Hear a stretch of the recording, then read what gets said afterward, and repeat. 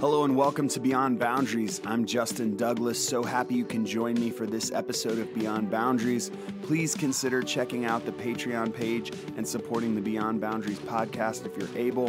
That's patreon.com forward slash Beyond Boundaries podcast. You can also help by sharing, subscribing, rating, and reviewing the podcast. It makes a huge difference.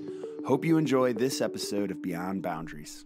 All right, this is episode two of my conversation with Nate McConkey about healthcare. And before we get into it, just want to be clear it would be a wise thing to listen to our first conversation because uh, so much of what we reference back to in this particular episode is some of what we kind of built on in that episode. And so make sure you listen to that before you listen to this. And uh, if you have any questions along the way, write them down or um, so, so that you can send them to me because I would love to have them. So you can send them to Instagram at Pastor Justin Douglas. You can just direct message me, or uh, you can leave a comment on one of the posts that I've made uh, for this episode. Maybe I, I made like a, a, small little video clip of this episode. You can make a comment there with a question. You, if you prefer it to be private, you can direct message me. You can find me on Facebook. You can go to PastorJustinDouglas.com and leave a comment on the uh, podcast that's posted there. Uh, there's all kinds of ways to interact, but ultimately, we're hoping we can gather somewhere from 10 to 20 questions uh, from what Nate said throughout these episodes uh, that might have sparked another question that you had that maybe I didn't have, or um, or maybe you just have um, a, a, question based off something that, that he said or, or something that he thinks or, or whatever. Ultimately, we think it's a great opportunity to include you in this conversation. So hopefully, we'll do a third episode on healthcare that will be just your questions. We really want this to be interactive, so um, so be mindful throughout this of any questions that pop in your head to write them down and then send them to me. All right, here it is. All right, I am back with Nate McConkey. We are on episode two of healthcare, and uh, I'm going to let Nate um, give you a maybe summary if you missed the first one, or maybe you listened to the first one but you want to uh, just be reminded of what we covered in that particular episode. So, Nate, give them a recap of, I guess, mainly, would you say mainly the thing we did was we covered like the healthcare quagmire and how we got here? yeah, I, I, think so. So the the quagmire to which we're referring is the fact that the United States spends more on healthcare than pretty much any other developed nation by a long shot. Uh, but we don't have the highest quality or the highest outcomes to show. Uh, additionally, we're somewhat unique among developed nations in that we don't have universal health care coverage for all of its citizens. And there are a number of reasons for that, um, some that are distinct to our specific country in particular that we talked about. But we, we took a number of the issues involving cost in particular and put them into three buckets. So, the first of which is that we have a tragic preponderance of preventable disease in the United States um, driven predominantly by lifestyle modifiable risk factors. So that includes things like the metabolic syndrome, a consequence of obesity that raises the risk factors of hypertension, diabetes, heart disease, etc. Um, and of course, we spent some time talking about smoking in particular. Mm-hmm. Um, the second bucket is that we tend to invest considerable amounts of money with relatively few returns uh, for certain conditions in certain stages of life. And so this is a country where people would spend millions of dollars on a medication that may extend their life by a month, for example. Mm-hmm. Or we invest considerable amounts of money in conditions that can't necessarily be treated uh, to any reasonable degree. It's just that you know people want that 100%, so to speak. Um, and then the third general category is that we have accepted a very high cost for diminishing levels of quality as well. We insist on having the absolute best drugs, the most refined, highly trained specialists, the safest procedures, and the most regulatory oversight in some cases, which has certainly been one thing that makes healthcare in the United States uniquely beneficial, but not perhaps to the degree of cost that it's incurring for us. Mm. And ultimately, there is the question of at what point do we cross the line of having more negative outcome from a lack of access to care that outweighs the benefits of having some of these more refined drugs, procedures, technologies, etc. Um, and that's a question that no one really has a good answer for, and it probably varies from person to person. But uh, trying to dissect out which of these three buckets, I guess, is the most amenable to intervention if we're looking for a way to refine or improve the healthcare system is something that hopefully we'll be able to touch on a bit today. Yeah, yeah. So now we talk about the way out of this, which I mm-hmm. think is unique and interesting because what I think is unique and interesting about the country we live in, the United States of America, we are talking specifically as Americans. So if you're listening to this and you're from somewhere else, this will give you a glimpse into our particular, you know, situation with healthcare. Like it's where, where I just want to make it clear. Like if you're coming from another context, this may not be for you, or it may be for you because maybe you just don't understand why this is a problem for Americans when maybe your, your, country might have it figured out in some ways. Um, but I, I say that to say I also think it's uniquely American in some ways that we get very connected, almost in um, uh, a constitutional way of like this is the way we do it. Mm-hmm. This our identity tends to be connected to policy a little more so.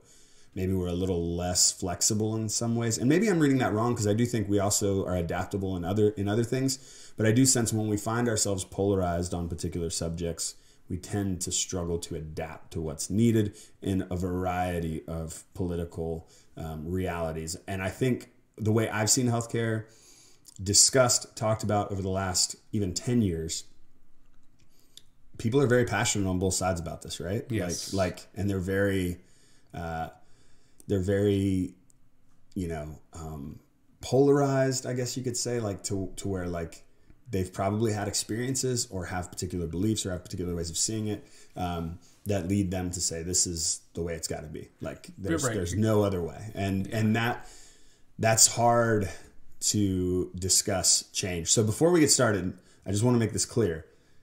Neither Nate or I are are here to be like this political candidate has all the answers or this political party has all I the wish. answers. Yeah. That's that's not like the the the premise of this. The goal of this is to simply say like what effective legislative change or, or change in general would would potentially relieve some of these realities we found ourselves in. And it's mm-hmm. it's not a silver bullet. It's not like you're going to tell me there's one change. If we make this one simple change everything will change i would guess right? You right. don't have a silver bullet option. There's no. probably a few things we need to talk Great about not. here. Yeah. Um, and so it might just be that we make that change and things get a little better and that change and things get a little better. But ultimately this is going to be um, a long road to some extent of like needing to adjust. And then those adjustments are probably going to need to be adjusted down the road too as we figure out data comes back. So one of the things I think it's interesting context wise, I, uh, I, I watched a video from the Minnesota government that said in 1997 the Minnesota government was spending 15 billion dollars on healthcare, and family premiums were at um, an average of 5k per year. And then 20 years later, um, 18k per year was the family premium, so more than tripled. And the government budget more than tripled and they're spending $47 billion a year. So that cost in both those categories tripled over 20 years, which is uh, incredibly unsustainable, not only for a government's budget, I mean, a government spending that much on healthcare, um, but also for families whose premiums have over 20 years tripled. I don't know that um, those families have uh, tripled their salaries. Right. I would doubt it. I don't even know that they've got over that period of time a 20% raise. Does that yeah, make sense? Yeah. Um, so now those premiums have gone up. Um, and, and even as those premiums go up, it's very likely that even the quality of care might have dropped down or that the access to prescriptions or cost for copays for going to the emergency room have gone up things like that. Does that make sense? It's not it's not indicative of them getting better care is what i guess i'm trying to say. yes. Um, so it's not like they've chosen to spend more because they have better access to care. This is right. uh, a, a line that just keeps kind of going up. And so there's a lot of answers to this for um, um, from from various legislators who have ideas for uh, the government side of things and for the from the family side of things for premiums. And so, um, one of the questions I got when I posted on Instagram, which might be the best place to kind of start, because I'm assuming this question is going to make you have to kind of break down things into buckets again and into yeah. like conversational topics, mm-hmm. um, and then we can just kind of take it and go like we do. Um, the question I got was thoughts on single payer and how it would impact quality of care. And I'll, I'll add to that, I guess, how it would impact like um, even the government budgets and household budgets, potentially um, a single payer, what, what that looks like maybe explain even what a single payer is Mm-hmm. for people who maybe don't know. Yeah, and I, I do want to clarify that it may not mean what most people think it means. Uh, last session, we talked about the difference between an insurer, a financer, and a payer. So, for example, if you're employed by, you know, Sue's Cookie Shop or something, and she Sounds like a happens great place to be yeah, employed, yeah, by the way. absolutely, yeah. Um, and she happens to provide excellent health insurance through a partnership with name your favorite insurance company. Okay. You know, Get Healthy Insurance Co. Sure. Okay. So Sue gives money to Get Healthy Insurance Co., who puts it into a bucket from everyone else who's paying into that system. And it may be many, many other bakeries or non bakery related Mm-hmm. Yeah, yeah. And from it, they can essentially cushion the blow of any particular person who happens to have a very expensive illness. Mm-hmm. That way, no one is directly impoverished because of bad luck. That's the whole idea behind insurances. But then, Get Healthy Co. might actually contract with a separate agency who actually bargains and negotiates with a local hospital. And they'll come and say, hey, we happen to insure, you know, 12,000 people in central Pennsylvania. So if you make a good deal with us, we can send a lot of business your way. And because they do that, they can negotiate for lower prices. But then ultimately, that means they're the ones who decide how much is fair and actually spend the money gathered by this particular insurance company from Sue, the cookie owner. And based on that, there are multiple people at play who have some role in deciding how much your healthcare services co- actually cost. Uh, so single payer just means that the person who's actually either financing, paying, or both is a single entity. So the government might say, okay, we're going to provide for everyone to have insurance based on money that we collect through taxes. And so everyone simply receives that as a benefit of being a citizen of the country. That does not mean everyone has the same insurance. It could just mean the government says we will provide this much worth of coverage through whatever specific insurance company you're contracting with, uh, which is similar to what happens with Medicare and Medicaid. It's not like if you're under one of those services, you come in and hand a card that says Medicare and then that's that. Um, there are specific products, if you will, that Medicare covers that are actually offered by private entities. So that's one form of a single payer. What most people often mean when they say single payer could also mean a single insurance company. So, if, for example, you're under something like a, a national health service, like in the UK, um, there may only be one specific entity who insures, provides, and covers your care. And that would likely, in the case of what those legislators are arguing for, would not be a privatized business. It would be a government entity. Correct. Okay. Not to say that it has to be Yeah. with a single payer system, Yeah. but very frequently for convenience, that's what ends up happening. Yeah. And the thing that makes a single payer system so powerful and so dangerous is that if there's only one game in town, then they can negotiate whatever they want. So if you're in a country that has a single payer health system and you're developing a drug, for example, if that particular entity, whether it's the government or some private entity that's been tasked with that responsibility, if they say, we don't like that price, we're not going to purchase your product, they have no competition. Maybe someone could pay out of pocket if they're especially wealthy, but that's not the most sustainable business model Yeah. when everyone else is operating through this particular agency. Um, now, if you have an especially unique or powerful drug that no one else is offering, you might say, well, tough luck, that's the price. Either pay it or your people just don't receive that particular service. Then it's mm. possible that the single payer may relent in that case. But it's it's unusual that such a such an impactful discovery is limited, especially when you consider that things like patent laws are written by the government, who also happens to be the payer. Mm. So it's really hard to suppress competition when most of the legal instruments you do so are written by one of the people you're trying to bargain with. Yeah, I didn't think about that. Yeah. Interesting. So it's good because it can drive down the cost of healthcare Mm-hmm. because the more the more people you have in that particular insurance bucket, right? More people paying into that is more purchasing power. Exactly. Correct? Like it's going to drive down that cost because you're going to be able to say, I know how many people are in your particular market and I can send them your way. Mm-hmm. If we can get the right price, then you'll be our preferred. You, the doctors at your hospital will be the preferred ones within our network. Correct? Is that what? Is that how it works? Yes, yes. Or, or your drug will be the preferred drug that we cover for this condition. Got Or okay. Your pacemaker will be the preferred pacemaker. Your hip replacement will be the preferred hip replacement. And, and that's a huge boon to those particular services, whatever they're providing, whether it's Yeah. a drug or technology or a service. Um, and it gives them a lot of stability and predictability to know that they don't really have to compete once they've landed that deal. Yeah. Um, now, someone else could always come along and develop something better, but it's not like it will, you know, ebb and flow with the changing of the market as can happen with private insurances. Sure. Okay. Okay. So, how would that impact the quality of care? And obviously, that's kind of a loaded question because it probably depends on the way in which it's implemented. Correct? Right. Because you have a variety of single payer options. Mm-hmm. Can you maybe explain two or three potential single payer options you think would be actually possible in the United States? In well, insofar as ways of setting up a system, Yeah. even okay. Well, I, I mean, I, I Maybe think you we could say talked Medicare and Medicaid are already in some ways a single payer system. kind of, right? yeah. And, and it's even if Medicare and Medicaid aren't the only game in town, it is an extremely large and powerful player in this game.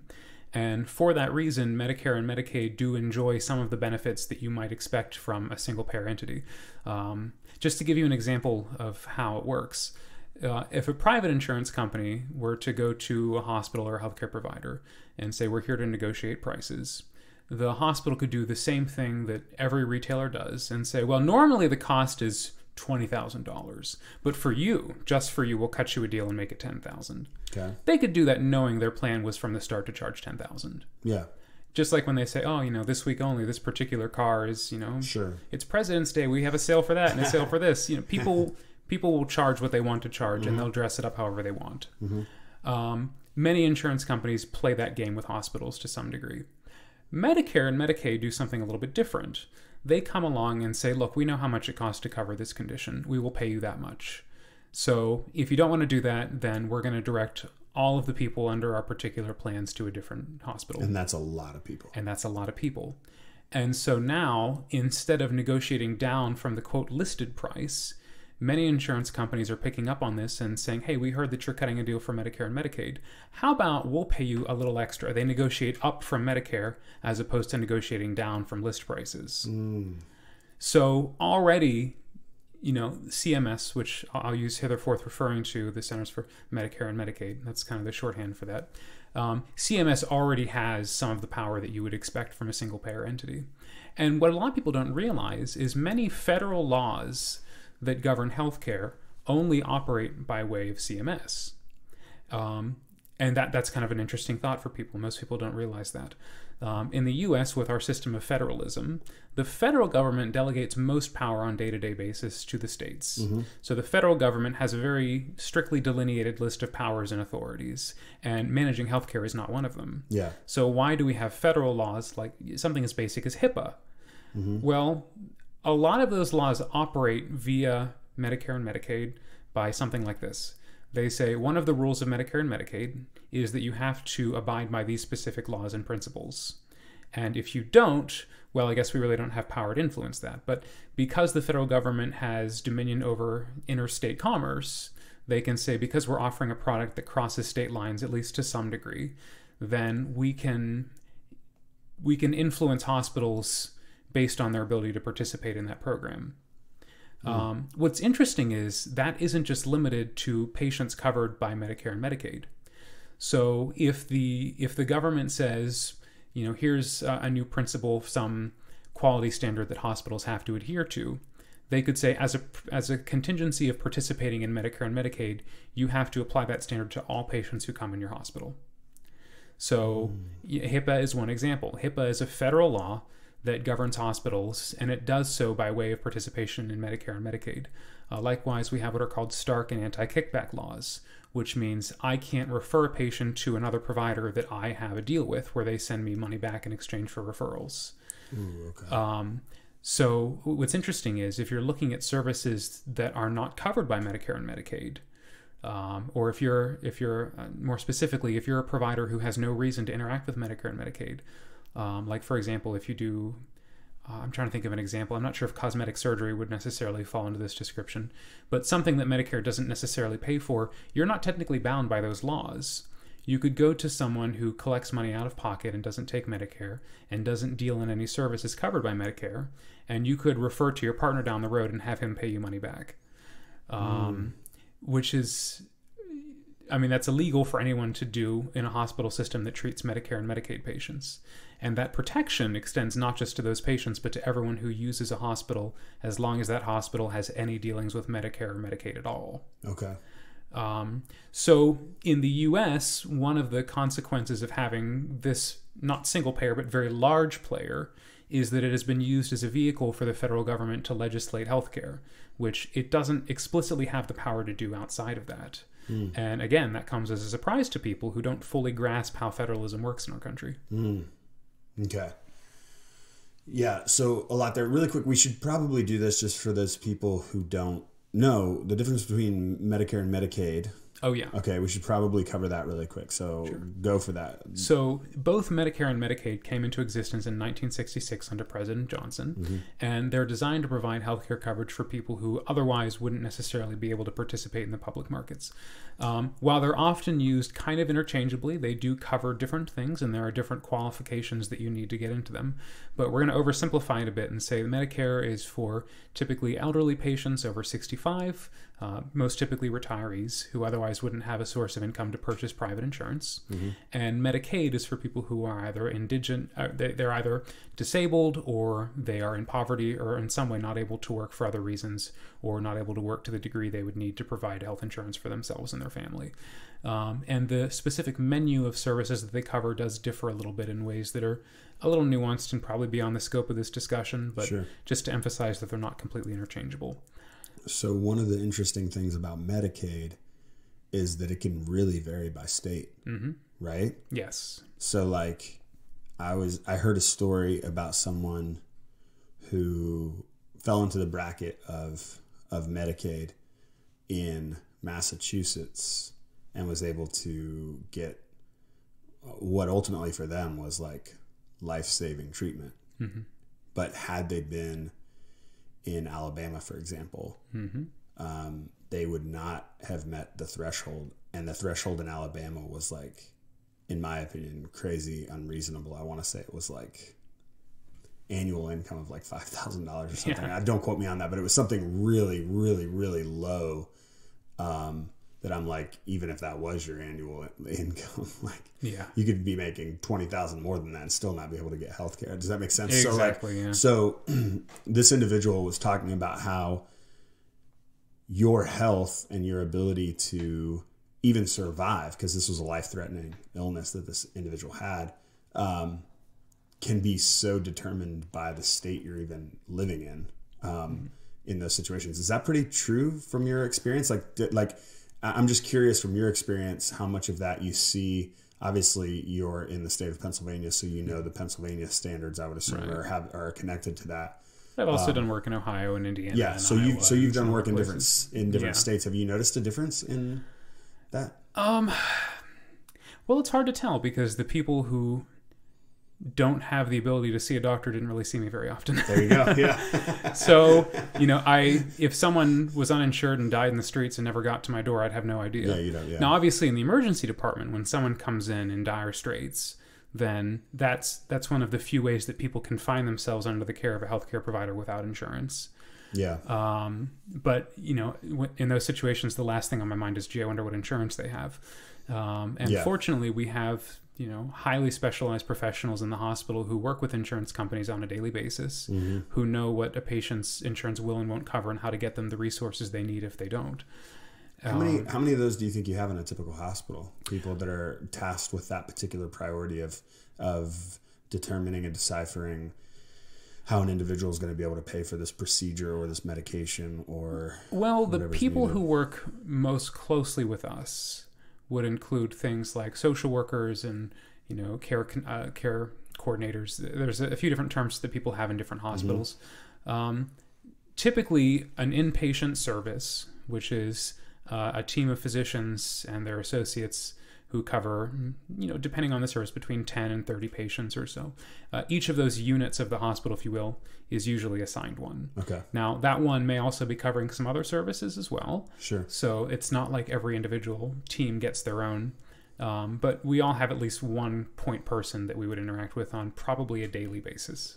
Okay. So I don't think we finished the question thoughts on a single payer right. and how it would impact health, the quality of care. But I do want to ask this and we'll get we'll get back to that question, or we'll just keep weaving that question in because I feel like it's going to have a lot of um, uh, there's a lot to be said on that question. Yes. I feel like, um, but one of the, the questions I have on the thoughts of a single payer, and let's say it was like a nationalized single payer healthcare, like really, uh, you know, very very much like everyone had access to it. It was um, the negotiating power, all of that, you know, came into play, and that's going to be a challenge for insurance companies, isn't it?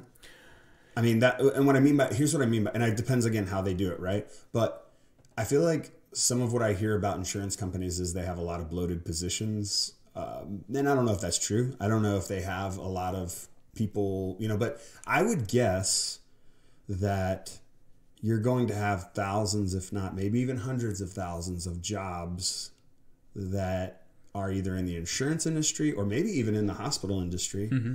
that aren't going to be necessary anymore or that are going to really have to be adjusted for a new system. Do you think that's a problem in this whole Um, potential transition? I, I do and I don't. So I, I I know that we always talk about the importance of creating jobs with any Mm-hmm. legislation or protecting jobs, but I don't think anyone has a right to a job that prolongs an existing problem. That's a good. I believe that if someone's job is to advertise cigarettes to children, they probably should be out of work.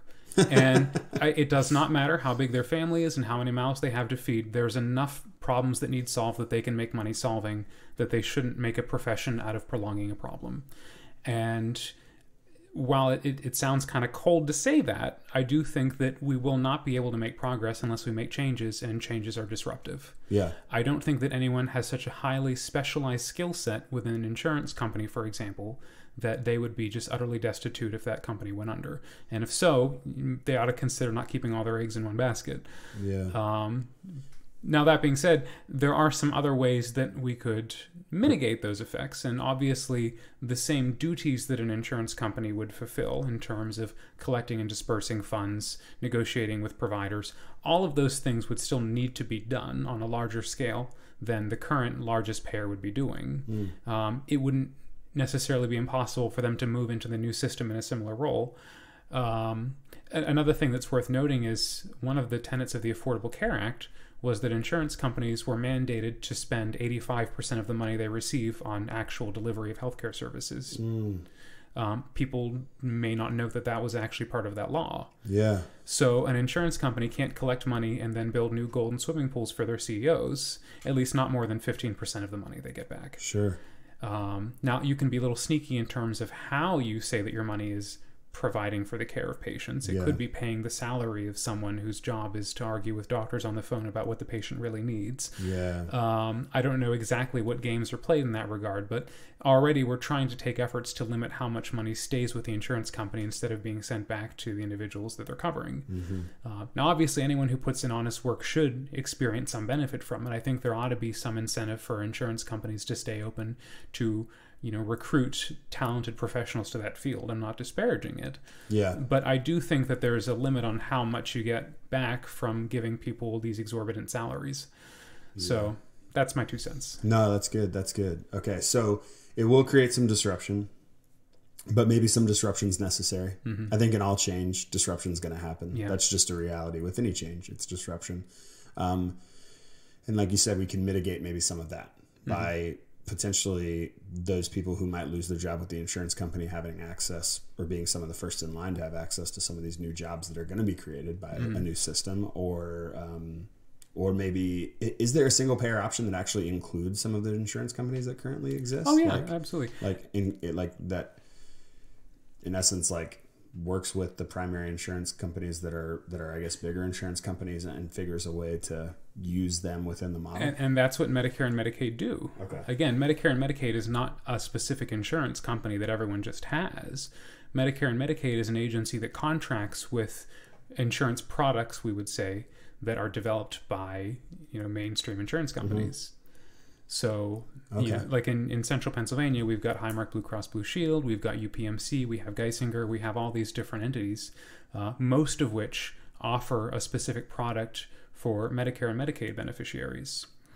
And um, they, they go by a number of different names that I always have to refer to my little cheat sheet for so that I can tell which is which. sure Um, but that is one way in which these private companies are directly participating in the system.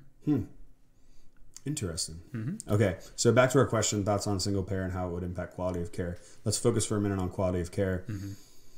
Do you? One of the things I've heard is like, if we go to a Canadian system, you'll be waiting four weeks to get your leg in a cast if you break your leg, or you know you'll be the the hospital lines for the surgery that you need will take forever. You won't be able to get the treatment you need.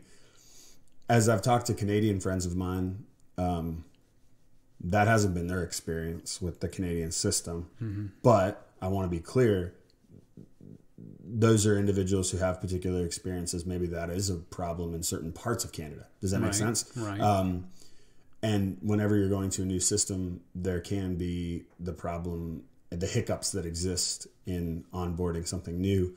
Do you think there will be quality of care issues and issues where people are getting backlogged slash um, you know just put in line and it's taken longer. I mean there's a certain element of our healthcare now that i would assume like if you want if you want something that's not absolutely an emergency which i would assume getting your leg in a cast counts as like a pretty urgent reality um, but like if you need a surgery that's not let's say a knee replacement there might be a line that you got to get in for that because that takes time to to, to get everybody who needs a knee replacement in central Pennsylvania what they need. You know what I'm trying to say? Like like so like. But so I'm just curious with that question. Like, where do you think the quality of care will it? How how different do you anticipate it would be if that something like a single payer were to take place? Well, before I do that, I, I do want to make one point in terms of terminology. Okay, good. Um, when we talk about healthcare and ways that it works and ways that it doesn't, we often talk about three elements cost, quality, and access. yes. And everything you describe right now is a matter of access, not what we would call quality. okay. So, quality would be of the people who get, let's say, knee replacements. How many of them have good outcomes? How many have short hospital stays? How many don't get leg clots uh, in their blood vessels? How many of them are able to walk without pain afterwards? How many need repeat operations? All of those are questions of quality. Okay. Um, so it's So let's answer it for both then. Let's answer for- for yeah. quality and access. Okay. Because we already we've already kind of in some ways addressed cost. Well, maybe we really haven't, but my assumption would be cost is going to go down. Like that, the goal of the the whole the whole point, right, is that the costs get driven down. Yes. There's a higher a higher negotiation for the product, uh, or a larger Mm-hmm. pool negotiating for the product, therefore hopefully driving the cost down. right, right. So so that's the cost portion. So let's talk access and quality now, and if the either of those are going to be impacted in your mind for the negative or the better. Sure. So let's start with access because that's kind of the crux of the question we've been asking so far. Um, the way that a single payer healthcare system, and I do want to emphasize again, single payer in this case we're using for universal coverage, Okay. which is not always a given with single payer. Okay. That just happens to be how it is typically set up. But And maybe simply- we'll break those down a little bit Yeah. in a minute because I do want to talk about that. But go ahead. Yeah. But but most of the time, that's what people mean. They mean a single payer that everyone has access to. Mm-hmm. So by by virtue of that statement, more people are able to get into the healthcare system. More people whose knees are achy don't have to sit at home saying, "Well, you know, maybe someday I'll hit the lottery and get this looked at." Anyone can say, "I'm going to call a doctor and make an appointment, and if it's necessary, I'll have the surgery." Mm-hmm. So the way in which it decreases access is by increasing the number of people waiting in line. So you could say uh, that's a good thing because it means otherwise people were just suffering with their illnesses and not getting treated at all, which is the epitome of bad access. yeah. But it does mean that for people who are already able to access because they're simply well off enough to pay for their own insurance, or they happen to have good insurance through their employer, or they are one of the populations covered by CMS, well, for them, now more people are waiting in their line. Um, those are the people who tend to be ticked off about it Yeah. Okay. And with and it's it's it's reasonable to say that once the line gets long enough it becomes impractical to wait in it i mean there may be certain very common services whether it's something like uh, orthopedics is a good example because it's something that affects a lot of people but may not be immediately deadly Yeah. um, so that could be something But it still can be a really nagging hindrance to your everyday life. yeah. and in some cases Yeah. it can be deadly Yeah. you know when an elderly patient breaks their hip that predicts mortality within six months yeah. it's it's not something that is good to happen to people and there tends to be a golden window in which you want to fix that hip and get them up and moving around as quickly as possible because the longer those populations stay in the hospital the more likely they are to have very bad outcomes so i don't want to trivialize it i just want to say that it's not like clutching your heart and falling over dead yeah. um, Would anybody, do you think, lack emergency care due to this? Like, would there be a? I, I, I'm I'm curious to. So, so we've been talking in orthopedics or in knee replacement, that kind of hip replacement. Do you sense that emergency rooms would be equipped for the potential uptick in people having access, or do you think it would actually be the inverse because people now have health care? So those people who were going to the emergency room because they didn't have health care mm-hmm. would actually no longer be occupying that space. Well, that's a question that history has answered for us. We talked about EMTALA last week. Yeah. Um, so, EMTALA is the Emergency Medical Treatment Active Labor Act, which says that if someone comes into the hospital with an emergency, we have to treat them, or we at least have to examine them to confirm that they're not having an emergency. And it does not matter that they're able to pay for it or not. So, everyone in the US, whether they're rich or poor, documented or undocumented, they all have the right to walk into an emergency department and receive an evaluation and treatment of any emergency conditions, um, which was a recent innovation. Again, that came around in 1986. And before that, there are stories of hospitals taking patients, putting them in cabs, and sending them to the hospital down the road so that they would be the ones to bite the cost of their treatment instead. That happened in this country in the early 1900s. Wow. Um, so, after that act went into effect, there was a significant uptick in visits to emergency departments. In the following 10 years, you know, there was a 25% increase, and about 400 emergency departments shut down, or at least reorganized themselves to no longer qualify as emergency departments. Um, now, having said that, it's a little bit unique in that we mandate emergency care but not primary care. A patient cannot walk into a family doctor's office and demand an appointment and not pay for it. So, as you pointed out, many people use emergency departments for want of a primary care doctor. They may not be experiencing an emergency, they may just be out of their blood pressure meds and need someone to prescribe them. And, And it will be a life or death situation. So you probably have to be like, okay, well, we might as well. right, right. And, and it would also, I don't know any of my colleagues who would be cold enough to Yeah. turn someone away for something as simple as writing a prescription. Yeah. So, you know, just out of, you know, there's a lot of things we do not because we're legally obligated, but because we took an oath Yeah. to uphold the best interests of our patients. And turning someone away for something so simple would not be keeping that. But at the same time, it is not the most valuable use of an ER doctor's time. Not remotely. To, to, to, to meet with somebody who Exactly. needs blood pressure medicine. Exactly.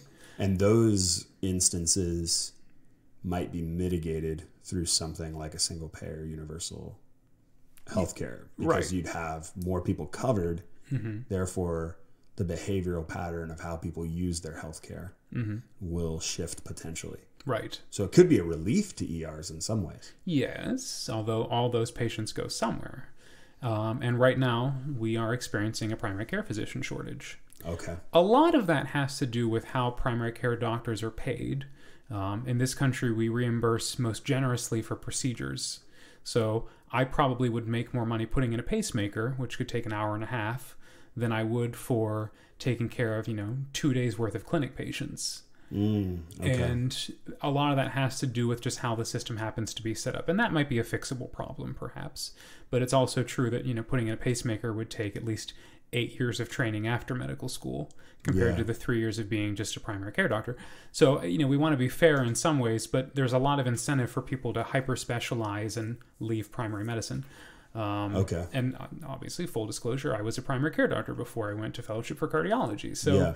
you know, that that was me, you know. yeah. No, I did it because I love heart disease, not You did it for I, the money, man. You did it. No, I'm just kidding. No, I mean that's a, that's a whole story. But you know, it's the system does incentivize people to do that sort of thing. I understand. So we have a shortage in that. And now, one of the things I see kind of filling that gap, and I say this just because I know my mom's experience. My mom wanted to Mm-hmm. be an RN and then became a nurse practitioner. And as a nurse practitioner, she's seeing her own kind of patients. Now, I know that's different in each state, has different laws about what nurse practitioners can and can't do and the freedoms they have. But my mom's in Indiana, and she pretty much has her own, her own, I guess, you know, um, patients that she sees regularly, that she treats regularly, that she prescribes medication to regularly. So it's interesting to see even how nurse practitioners can help in some ways. Yeah, fill and that physician shortage and- assistants and nurse practitioners both Yeah. perform similar duties in that regard. Yeah. And that especially the patients who have established diagnoses who need long-term chronic care, Yep. it's a very convenient option for them to be able to see an NP or a PA just for you know their annual checkup or for managing an established diagnosis. And an established probably um, regiment of prescriptions Right. that need to be refilled or need to be checked in on and seeing how it's affecting. Right, so that's a huge health. benefit, yeah. yeah. Awesome. Okay. Um, so that's that's one option, but you know there are certain services that can't really be substituted for. Yeah. Um, and the question of you know how much of that would be how much would be less necessary if people never reached that point in the first place. So, to your earlier point, fewer people would go to the emergency department because they have primary care doctors, but I would also hope it's because they're having fewer emergencies in the first place. Because they're getting the care that hopefully is Exactly. keeping them from having the emergency. Right, with good preventative care. Yes, preventative care. there might not be as much need for that. So the hope is that over time, as more people are covered, we can get a hold of these issues before they, you know, develop into large, expensive Yeah, catastrophes. I'll say this: the cynical me says that's going to take some time to see those numbers trend that way because you also have, in some ways, behavioral patterns that have been put in place for some populations. As yes, well. and that and those was behavioral patterns of how they do, how they use and access healthcare is going to take some time to relearn, and it might take a generation in some regard. Does that make sense? Yes. Um, it's interesting. There was actually uh, a famous study called the Rand Healthcare Experiment, Okay. where they, to see what people would do in this scenario, they gave a certain number of families that were enrolled as subjects unlimited access to healthcare, essentially. Okay. and then there was a control group as well and it was the experiment was a little more sophisticated than that but they said what happens when people have unlimited access to healthcare and famously in that study the patients who had their healthcare covered just by nature of being enrollees in this experiment uh, had significantly more visits to their their physician for significantly milder pathologies things that most people wouldn't think of going to a doctor for Okay. um, and that was one thing that was held up as evidence that single payer universal health care might not be as much of an option because it would increase utilization of healthcare services. Uh, what a lot of people don't realize is being in that study did not grant you those privileges for life, it was for a set period. Yeah. So people were probably rushing to get everything they the could looked mindset is at get as much looked at as I can right now. before those benefits expired. I'd also be interested in the background of those particular individuals and how they've interacted Who signs with up for a study?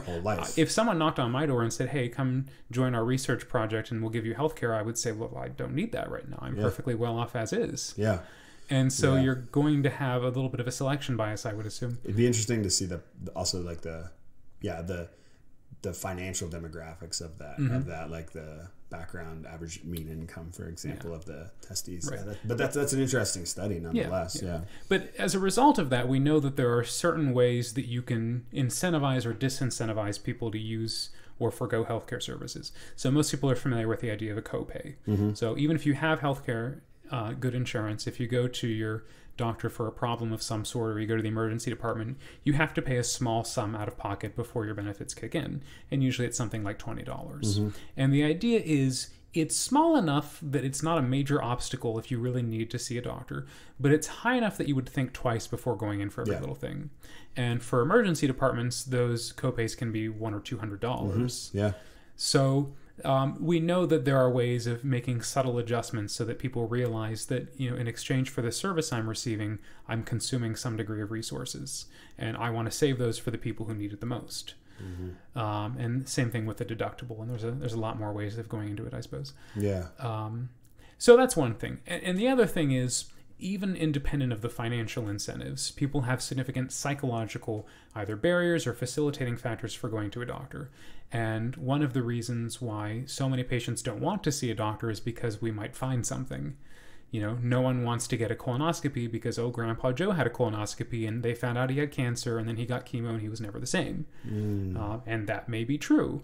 But the reason we look for some conditions and not others is because we're trying to find the ones that we can intervene on early. Yeah. Which is why, even though something like ovarian cancer is a particularly nasty and deadly cancer, we don't screen for it because we don't have a way of curing it.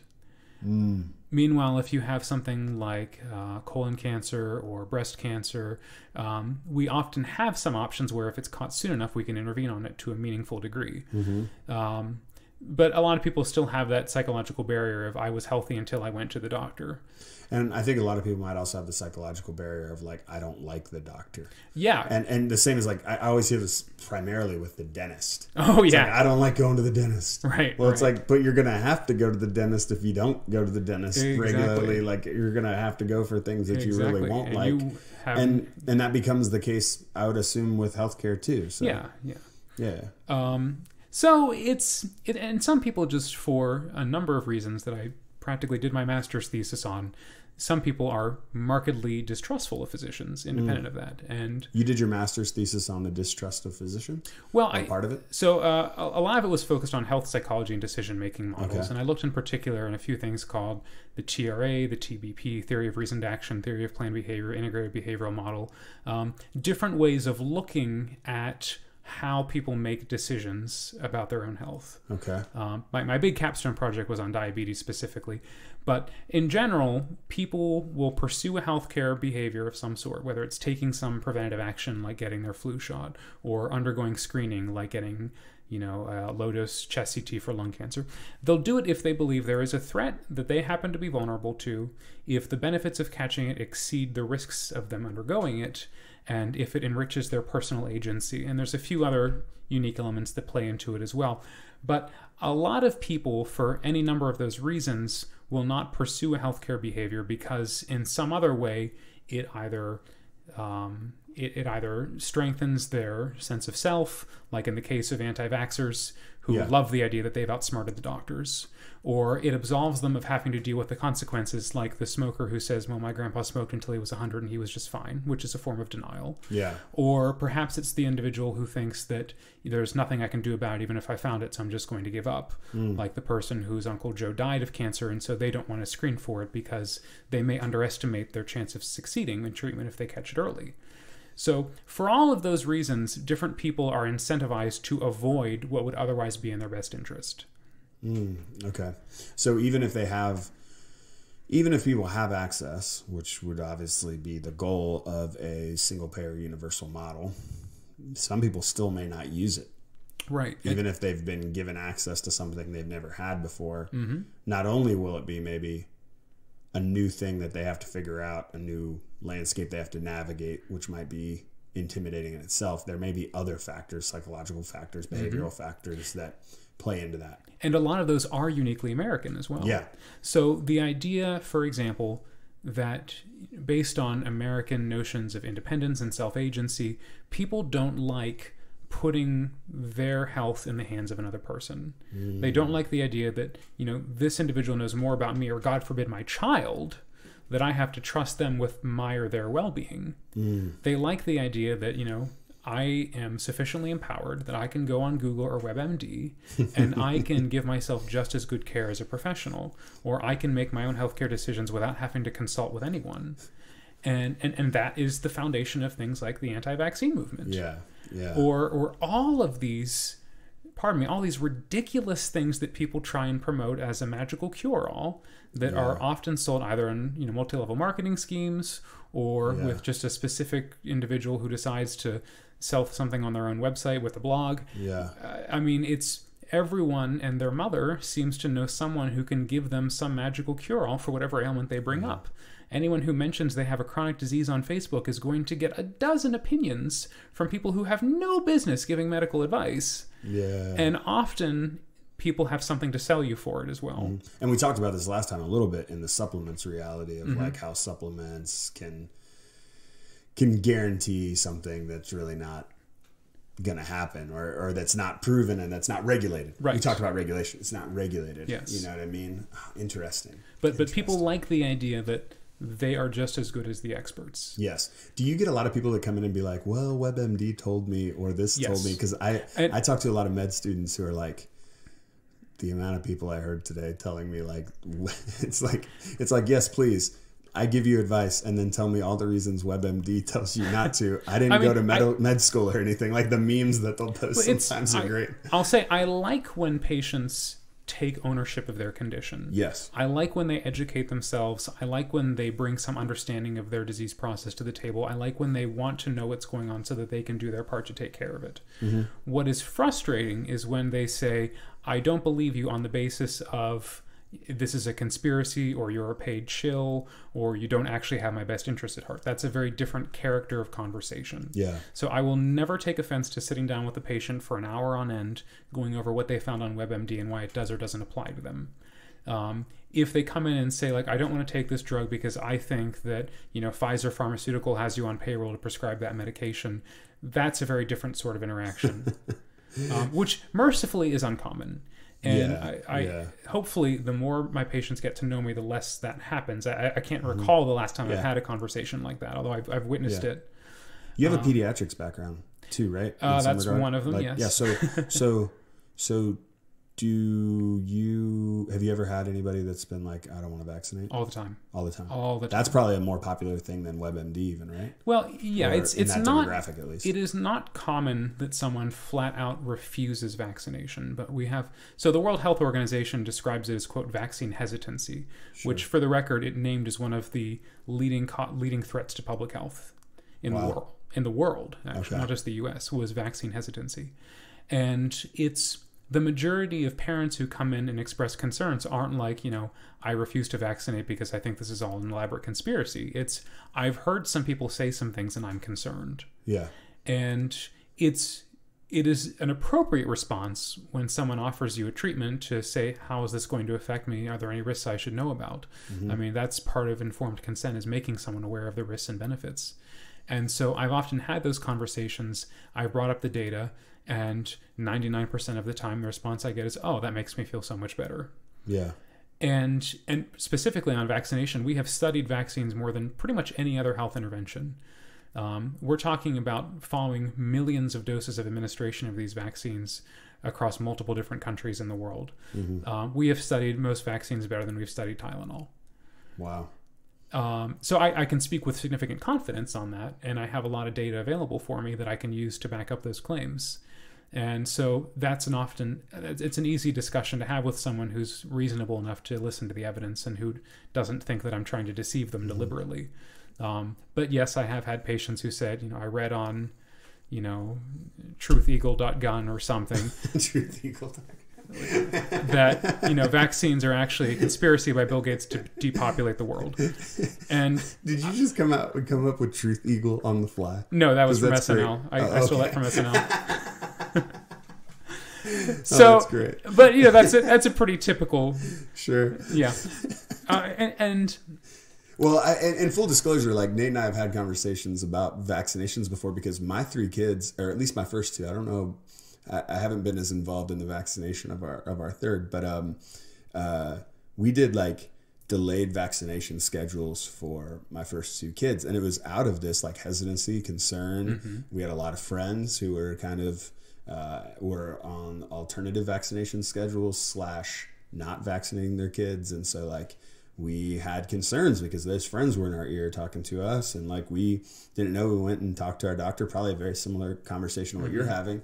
And um and we went with like an alternative you know schedule where we didn't have as many at once and all these things because what we had heard was like that much is a lot for the body to process and then you had told me when we talked about that you're like like if your kid puts a lego in their mouth or something like or some like toy in their mouth that has a bunch of bacteria on or like like they've gotten millions of times as many challenges to their immune system in that one thing. Yeah, explain that just for somebody who's maybe Sure. in my position. Like, I don't want to like. I, I I guess what I'm saying is like obviously this conversation is not about vaccinations. So like hit the fast forward button a couple minutes if you want. But I feel like we've touched on it enough that maybe we should just get your thoughts on someone who might be in a similar position like what would you share with them that might encourage them to be like okay here's the values of vaccinations and here's why it's important Okay. So the first thing I want to emphasize is again, we have studied vaccines more than almost any other public health intervention um, across not just the US, but multiple countries across the world. Um, in particular, we've studied the question of does it increase the likelihood of getting another disease? People talk about things like autism or autoimmune conditions. The answer to that is a resounding definitive no. And I say that with more confidence than I can say about 99% of the things we discuss in medicine because of how well it's been studied and the fact that we have so many people to study who receive these vaccines. Um, so I'm going to do a little bit of hand waving here. There are studies available that we can bring up if anyone has any specific questions about this. But ultimately, if you compare children who are vaccinated to ones who are not, adjusting for risk factors like their ability to access healthcare in the first place, their level of education, there is no increased risk of getting autism or many of these other uh, autoimmune conditions in the vaccinated group. For me, that basically should end the discussion because if someone says, well, what about this chemical or that chemical? It doesn't matter. If that chemical is in the vaccine and the entire vaccine has been studied, if it doesn't increase the risk, picking out individual components makes no difference. Yeah. It would be like if I drank a glass of water and lived, you could tell me, but that water was filled with all these poisons. And I said, yet I'm alive. Yeah. And you could tell me the most deadly poison in the world is in that. But again, the proof is I'm still perfectly fine. yeah. If we have proven with clinical studies that patients who are vaccinated are healthier than patients who are not, then trying to pick apart that and dispute that with claims about ingredients or about some other pro- properties, it makes no sense. Um, so, if anyone is willing to simply trust the advice of a medical practitioner on this, yes, vaccination's a good idea, and the significant benefits come outweigh even the tiniest risk. Um, and most of those risks are also overblown. But to answer some specific concerns, people talk about the number of shots that we give. And indeed, the number has gone up since my parents were kids, for example. But the way a vaccine works isn't by necessarily including the entirety of a, a you know dead germ, a virus or a bacterium or something like that. All you really need to show the immune system is one tiny piece that it can build antibodies against. And an antibody is a protein produced by white blood cells that can inactivate or flag a germ, a pathogen, whether it's a virus, a bacteria, or a toxin, uh, in order to have the immune system remove it.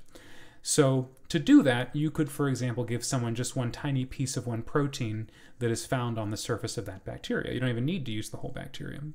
And we've gotten better at refining what parts of these germs the immune system is attacking and showing them just those parts. So while my grandmother might have gotten a vaccine that included a bacteria that was heated and killed and injected into her body, the vaccines we might give now could include a piece of protein that's conjugated with uh, a sugar molecule, for example, that attracts the immune system and activates it. So when you consider all the things on the surface of that bacterial cell that could activate the immune system in all sorts of different unpredictable ways, even though we give more shots now, there are fewer antigens, fewer immune stimulating components Sure. than even our grandparents would have gotten. And none of that compares to actually encountering a wild germ like the ones that you find when you simply, again, put your fingers in your mouth. Yeah. Um, there's a lovely picture online that shows the handprint of a toddler on a petri dish showing all the things that grow off of it, um, which is horrifying, but also insightful. Yeah. Um, and even the entire childhood vaccination series, like all their life, all the shots, if you add all together and inject that all at once, it's going to be less of a challenge to their immune system than just one day walking around on the earth. Uh, the reason we separate them isn't because it's dangerous; it's because we want to form a way to a limit the number of you know times they have to poke a kid at once, Yeah. and b we also want to try and focus the immune system on one specific antigen that we tend to flag, if you will. At a particular time where they're probably more likely to Exactly. be subject to it, or it's a higher risk factor at that particular Exactly, age for which what is- it could do to them. which is why the um, so one round of shots we typically give between age four and age six, and we try and do that to coincide with going to kindergarten. Yep.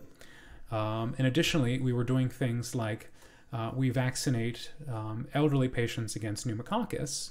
Um, and uh, that's uh, different types of things that cause pneumonia. We do it not just to protect them, but we do it so that when people begin entering the age when they typically become grandparents, they get a booster on anything that could also be passed to the kids. Okay.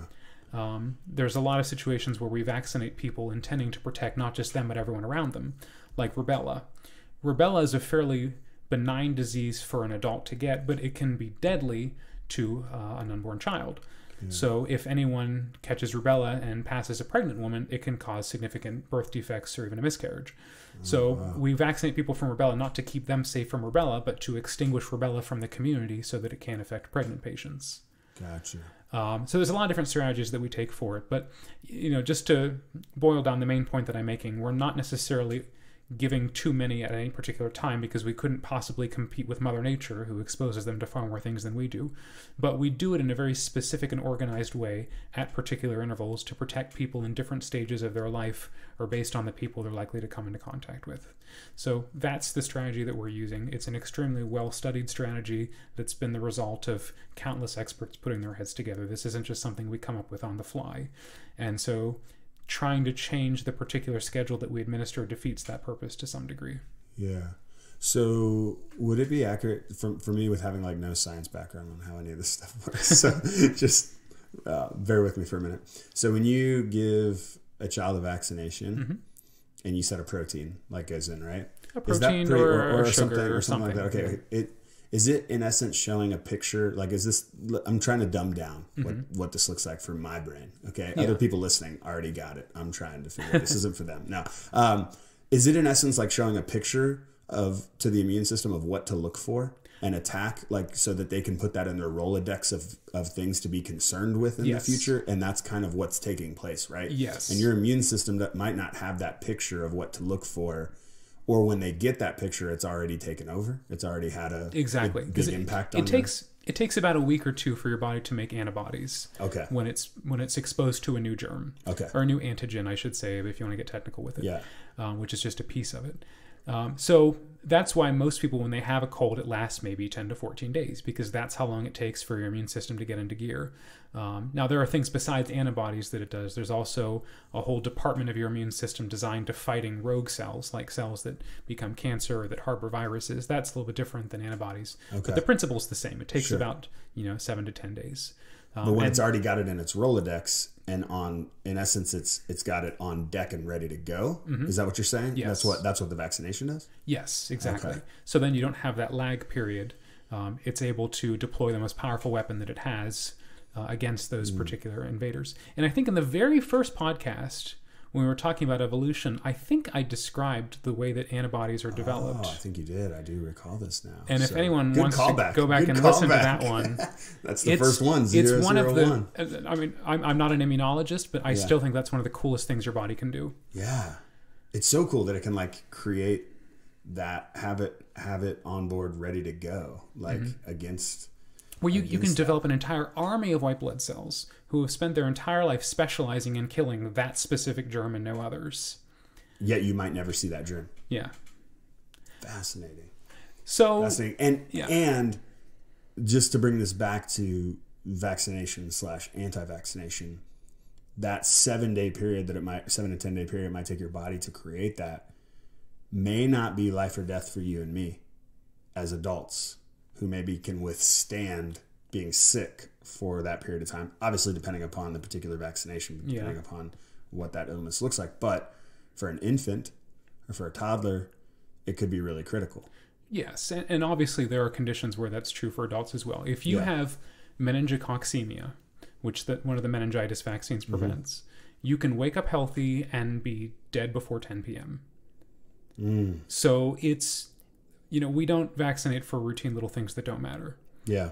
Okay, so we've gone far off from Yes, access to healthcare. but here's the deal: when I talk to you and we get on like a rabbit trail, it's so good. It's like it's hard for me to stop. So, um, but let's stop there. That's a good Yeah, kind of sorry. landing point. No, don't don't apologize. I was asking the questions, and I and I'm very happy about the knowledge, and I'm confident there's people out there listening that are going to be happy to have had that knowledge. But so we covered access. Yes. Um, access could differ in some ways, but it would probably would it be fair to just say the healthcare industry is going to have to make some adjustments, which might be adjustments to uh, having less of a need at the emergency rooms and more of a need at um, you know uh, in, in in preventative care and you know such like that. Like, but it, there's going to be an adjustment period probably necessary, but ultimately access it could mean that you're going to get pushed a little further back in line but it's not going to be that big of a deal or do you anticipate it would be a really big deal i'm just I, I don't think it's going to be as big a deal as people make it out to be. okay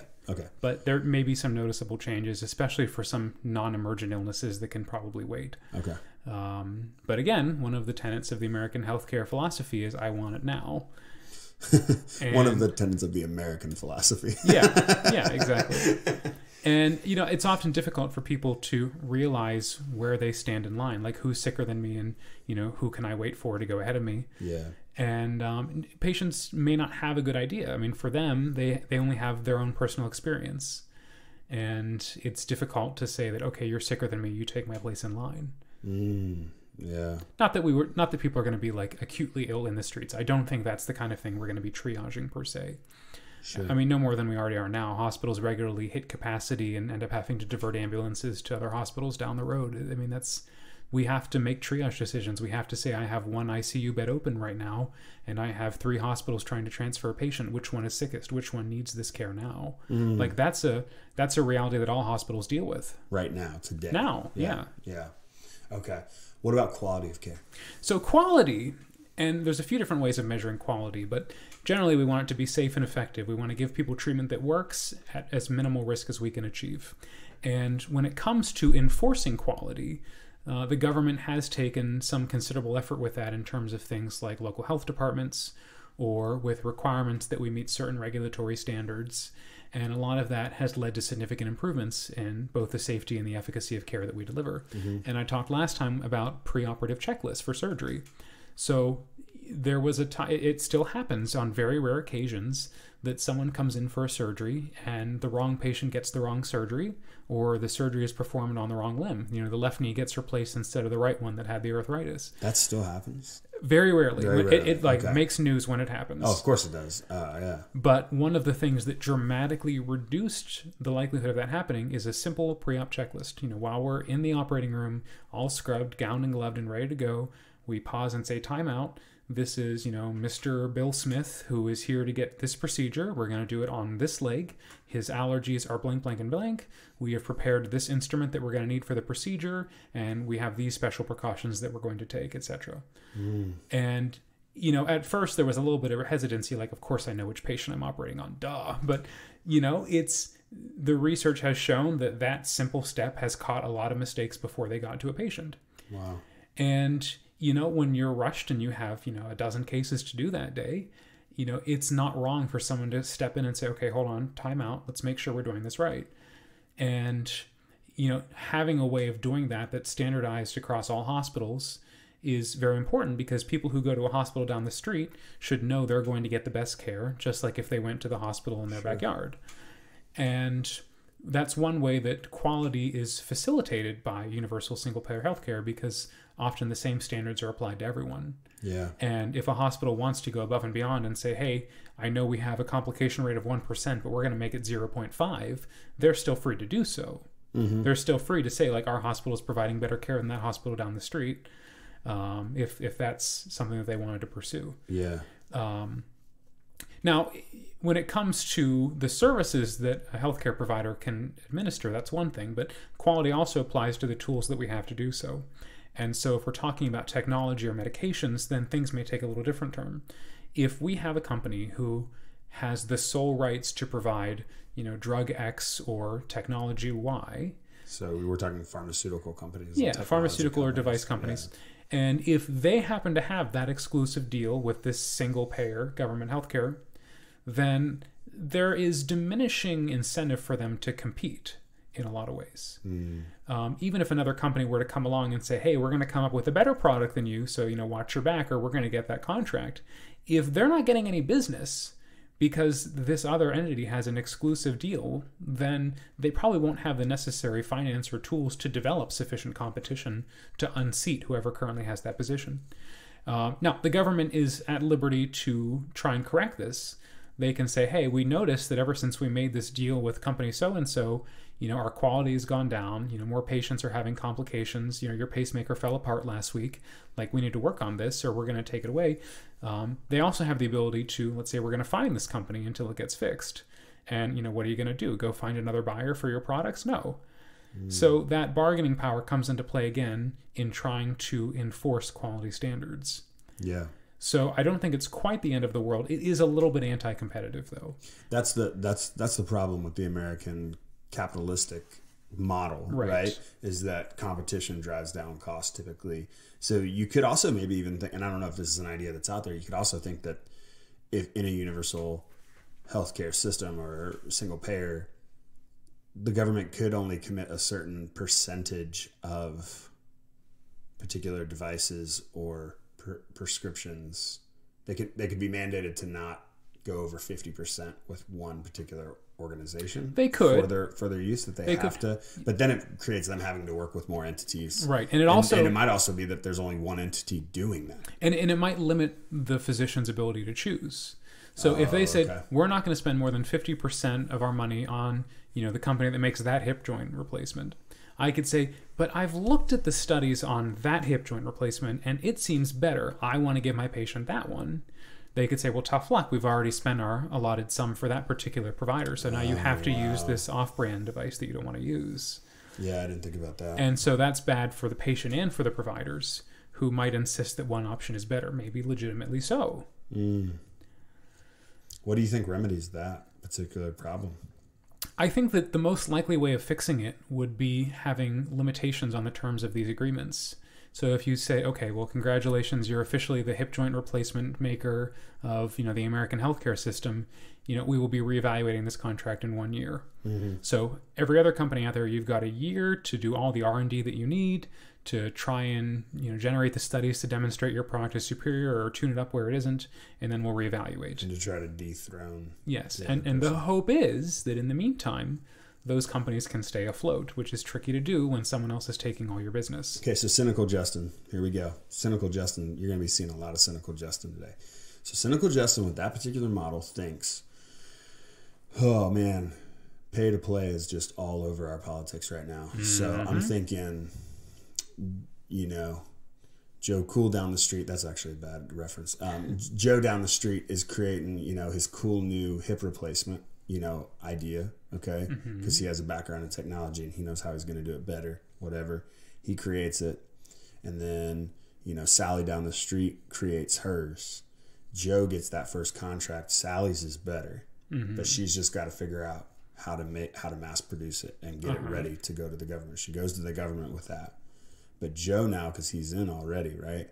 He's got lobbyists now lobbying. Mm-hmm. Who's making the decision for what you'll choose? Because what I would say is, I would say this is going to become the new lobby. Not that it doesn't already exist to some extent, I would guess, but man, you're talking about a lot of money in those government contracts. Oh, you're talking yes. about millions, billions of dollars. Oh, yes. So um, Joe and Sally are going to be at war, and if Joe has the lobbyists on his side, or if he's already got a position of power and influence that Sally doesn't have, um, and obviously I'm making this a simple analogy, but but but for the sake of it, we already see the impact that lobbyists have on our governing on on, on all different forms of government and policy to where it's not always working out for what's best for the people. It's Yes. often working out at what's best for the corporations. Yes. So my concern is Joe has a corporation, Sally has a corporation, and they're both trying to sell a product, but they're not trying to sell it to me. They're trying to sell it to the government, who has a potential uh, l- lobbyist that could influence that that process, where it wouldn't be all about data. How do you overcome that potential thing? Because I don't even know who would be making the decision about this. You could create a Yes. panel of doctors potentially that could have input in it, who are And they can also be bought off as uh, well. uh, and Yeah. doctors could be bought off exactly. So, what do you think mitigates that? um, nothing easily fixable. Okay, so cynical Justin So- has reason to be cynical. Very much so. And, and that is one of the biggest arguments against a universal healthcare single payer system because, you know, we don't trust the government with a lot of things. Why would we trust Sure. them with this? yeah, And, you know, the government may not have the best track record of keeping all of its constituents' interests at heart. And again, look no further than the fact that cigarettes are legal in the United States yep, and pharmacies can sell them sometimes. Mm-hmm. And the only reason it continues to be there is because of the money involved. That is the reason. That's it. yeah, And as long as that still happens, then, as far as I'm concerned, anyone who's behind that decision does not have the health of the country in the best interests. yeah, And like, I, I will never run out of horrible things to say about smoking, obviously. yeah. You- No, we, I we talked about that extensively last time, but that is an example of how the system fails to consider the people's best interests over money. sure. But regardless, the system as it is now is still very much easy to manipulate. Um, for all the reasons you describe, if it's not the government making the decisions on what they'll, you know, offer coverage for and what they won't, it'll be someone else, and you can always go to and buy off that person. Yeah. Now, obviously, when it comes to the provider level, when it comes to doctors like me, there are laws on what people can and can't do to entice me to prescribe their product or use their device or whatever. And there are also penalties on me if someone can show that I've done that, if I've taken a bribe for prescribing more of this drug or that drug. So this is a problem that people are aware of and are working to fix. And certainly it is a lot better now than it was 50 years ago, even. Yeah. Um, I remember seeing, and we might have talked about this last time, but I remember seeing. Um, I just remember when I was a kid, I would always see these business guys come in in suits with like briefcases, Mm-hmm. like almost more like travel cases, like what you would have, like what you would bring on, like luggage that you would Yes. bring on, like, you know, and they would they they would be there and be like, "Can I talk to the doctor?" Like, and like they would have a pamphlet and stuff. And then I realized after a while, these are pharmaceutical reps trying correct. to encourage this doctor to sell their, you know, blood pressure medicine or whatever. Mm-hmm. You know, fill in the blank. Like that that they're going to have to prescribe blood pressure medicine. They know that. Um, Mm-hmm. Why not prescribe ours? And look, uh, it's interesting that our country allows for ads for you know for Yeah, that's for, weird. for for pharmaceutical uh, drugs and and uh, allows for people to to to roll up with their briefcases and you know luggage to to give away free samples probably to those doctors and encourage them to take their you know, you know to prescribe their drug but there are actual legitimate kickbacks like we'll pay for you to come to this conference i think you you might have mentioned this last time I, don't know if mentioned we that as an example of. I, I mentioned that as an example of something that is now illegal. yeah, that's now illegal. Yes. So like, yeah, come to our conference in Hawaii or whatever. Um, what is legal right now then? Like, or what, or what's a what's a good example of what doctors can get in trouble for? well, uh, those are two opposite Yes, questions. exactly. I want to know. Well, there's obviously an industry that's probably still trying to bend the rules. Would be what I'm saying. And so, how are they trying to bend those rules? That's what I'm asking about crossing the line. But maybe before you say that, what is the line now? Because because the ACA created a line, right? Well, and additionally, there is a way that you can actually look up any particular physician and see what their disclosed conflicts of interest are, if you will, like how much money they've received Okay. um, from this company or that company. Another thing is whenever we're giving a presentation in an academic setting, we have to have you know a slide on our PowerPoint or something regarding our disclosures. Like, hey, I'm going to be talking about you know uh, stomach diseases, and I just want you to know that I have stock in Pepcid or something like that. Um, in which case, that's probably a poor person to invite to give that presentation. But, you know, if, if they're going to be talking about how wonderful a medicine Pepcid is. Um, and again, all of these examples I'm coming up with just off the top of my head. Yeah, I have yeah, yeah. no particular thoughts about any of these companies sure, sure, sure. that I'm willing to air on a podcast. Yes. Um, so it's the the most that they're permitted to do is perhaps buy you lunch, okay. And that's just based on the law. Individual hospitals may have policies that differ. So, for example, you know, even though legally they're allowed to buy me lunch, I am not allowed to partake of it in my position. And we keep them as far away as possible from any learners, any students or residents or anything like that. So, um, I, it's, I'm trying to think of, to answer your question of how do they game the system, probably the most generous thing they can do for us that's not explicitly a quid pro quo is that they can provide funding for educational activities that they don't have any role in developing. Uh, So, um, as so an they can give you grants or something. yeah, like they can do something like that. Or, you know, every year there's a few big meetings in my specialty, like the American College of Cardiology sessions, American Heart Association, Heart Rhythm Society. Um, some of these companies might say, like, hey, you know, we will give a scholarship for someone to go down to one of those conferences.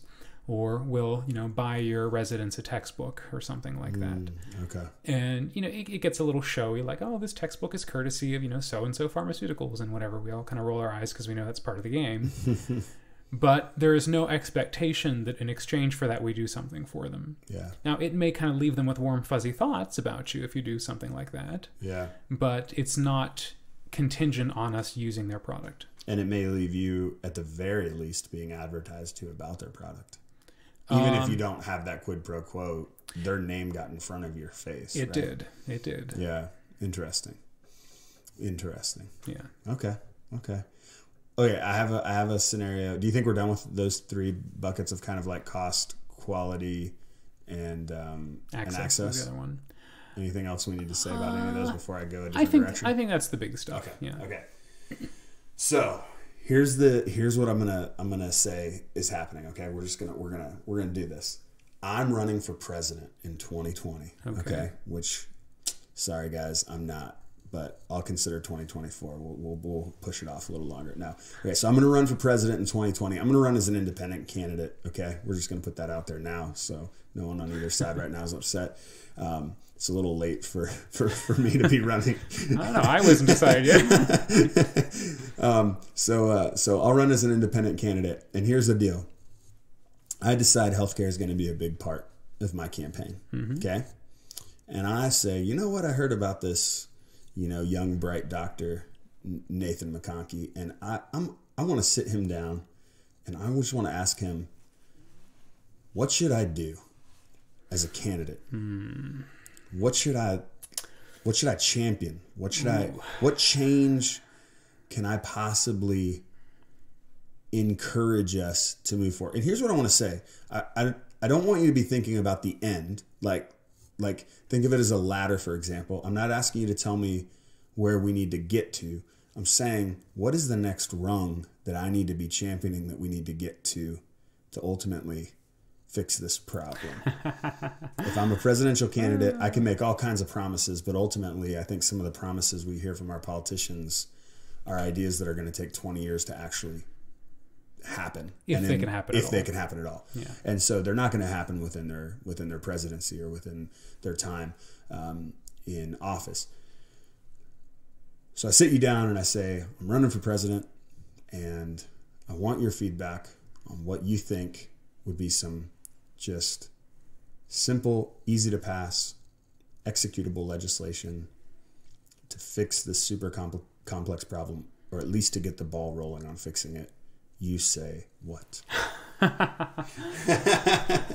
you like that scenario? I don't know. No, I by, don't. By the way, I did not. I did not prepare Nate for the scenario, No, so no, he no, might I- not be comfortable. I figured it was coming. So here's the problem. Okay? We got to We got to. We got to at some point merge this with politics Yeah. because this is a political. So the problem Football. is the political answer is probably not the correct answer. okay. If you came to me instead and said, I am a president in my second term, I am not accountable to the voters, what should I do to improve the health of the United States? Okay, let's do that. That's fine. I'm good with that. Okay, one, ban cigarettes, period. End of story. Okay. Like, no one has any business selling them. All right. Okay. Now, I don't think that it should be criminalized if someone happens to be in possession of them, because I think that opens the door for a lot of problems that we're currently seeing. A lot of justice problems. a lot of justice problems. Yeah, yeah, yeah. But at least no one should be making or selling them in the United States. And if you do that, we will close entire wards of the hospital in a few years. The other thing is, That is awesome. Yes. That is not going to help me with the libertarian. no, no, no, it is not. Okay. Okay. Okay, I got you. all right. That's a good. That's that's good advice. So so right away, right there, and just to just to put that in in in, in the calculation here, we're not talking about fixing insurance here. We're not talking mm-hmm. about changing hospitals. We're mm-hmm. not talking about changing the healthcare industry. Mm-hmm. But we're saying if we could remove this product from our country to a certain extent, to the extent that we have the power to legislatively, we would remedy so much of that first bucket that we talked about, Yes. which is the diseases that are ultimately riddling our country. And Okay. I, I, I would focus all of my recommendations to you in regard to those three buckets because if I identified them as the biggest problems, I'd be an idiot for not offering solutions that address them. Yes.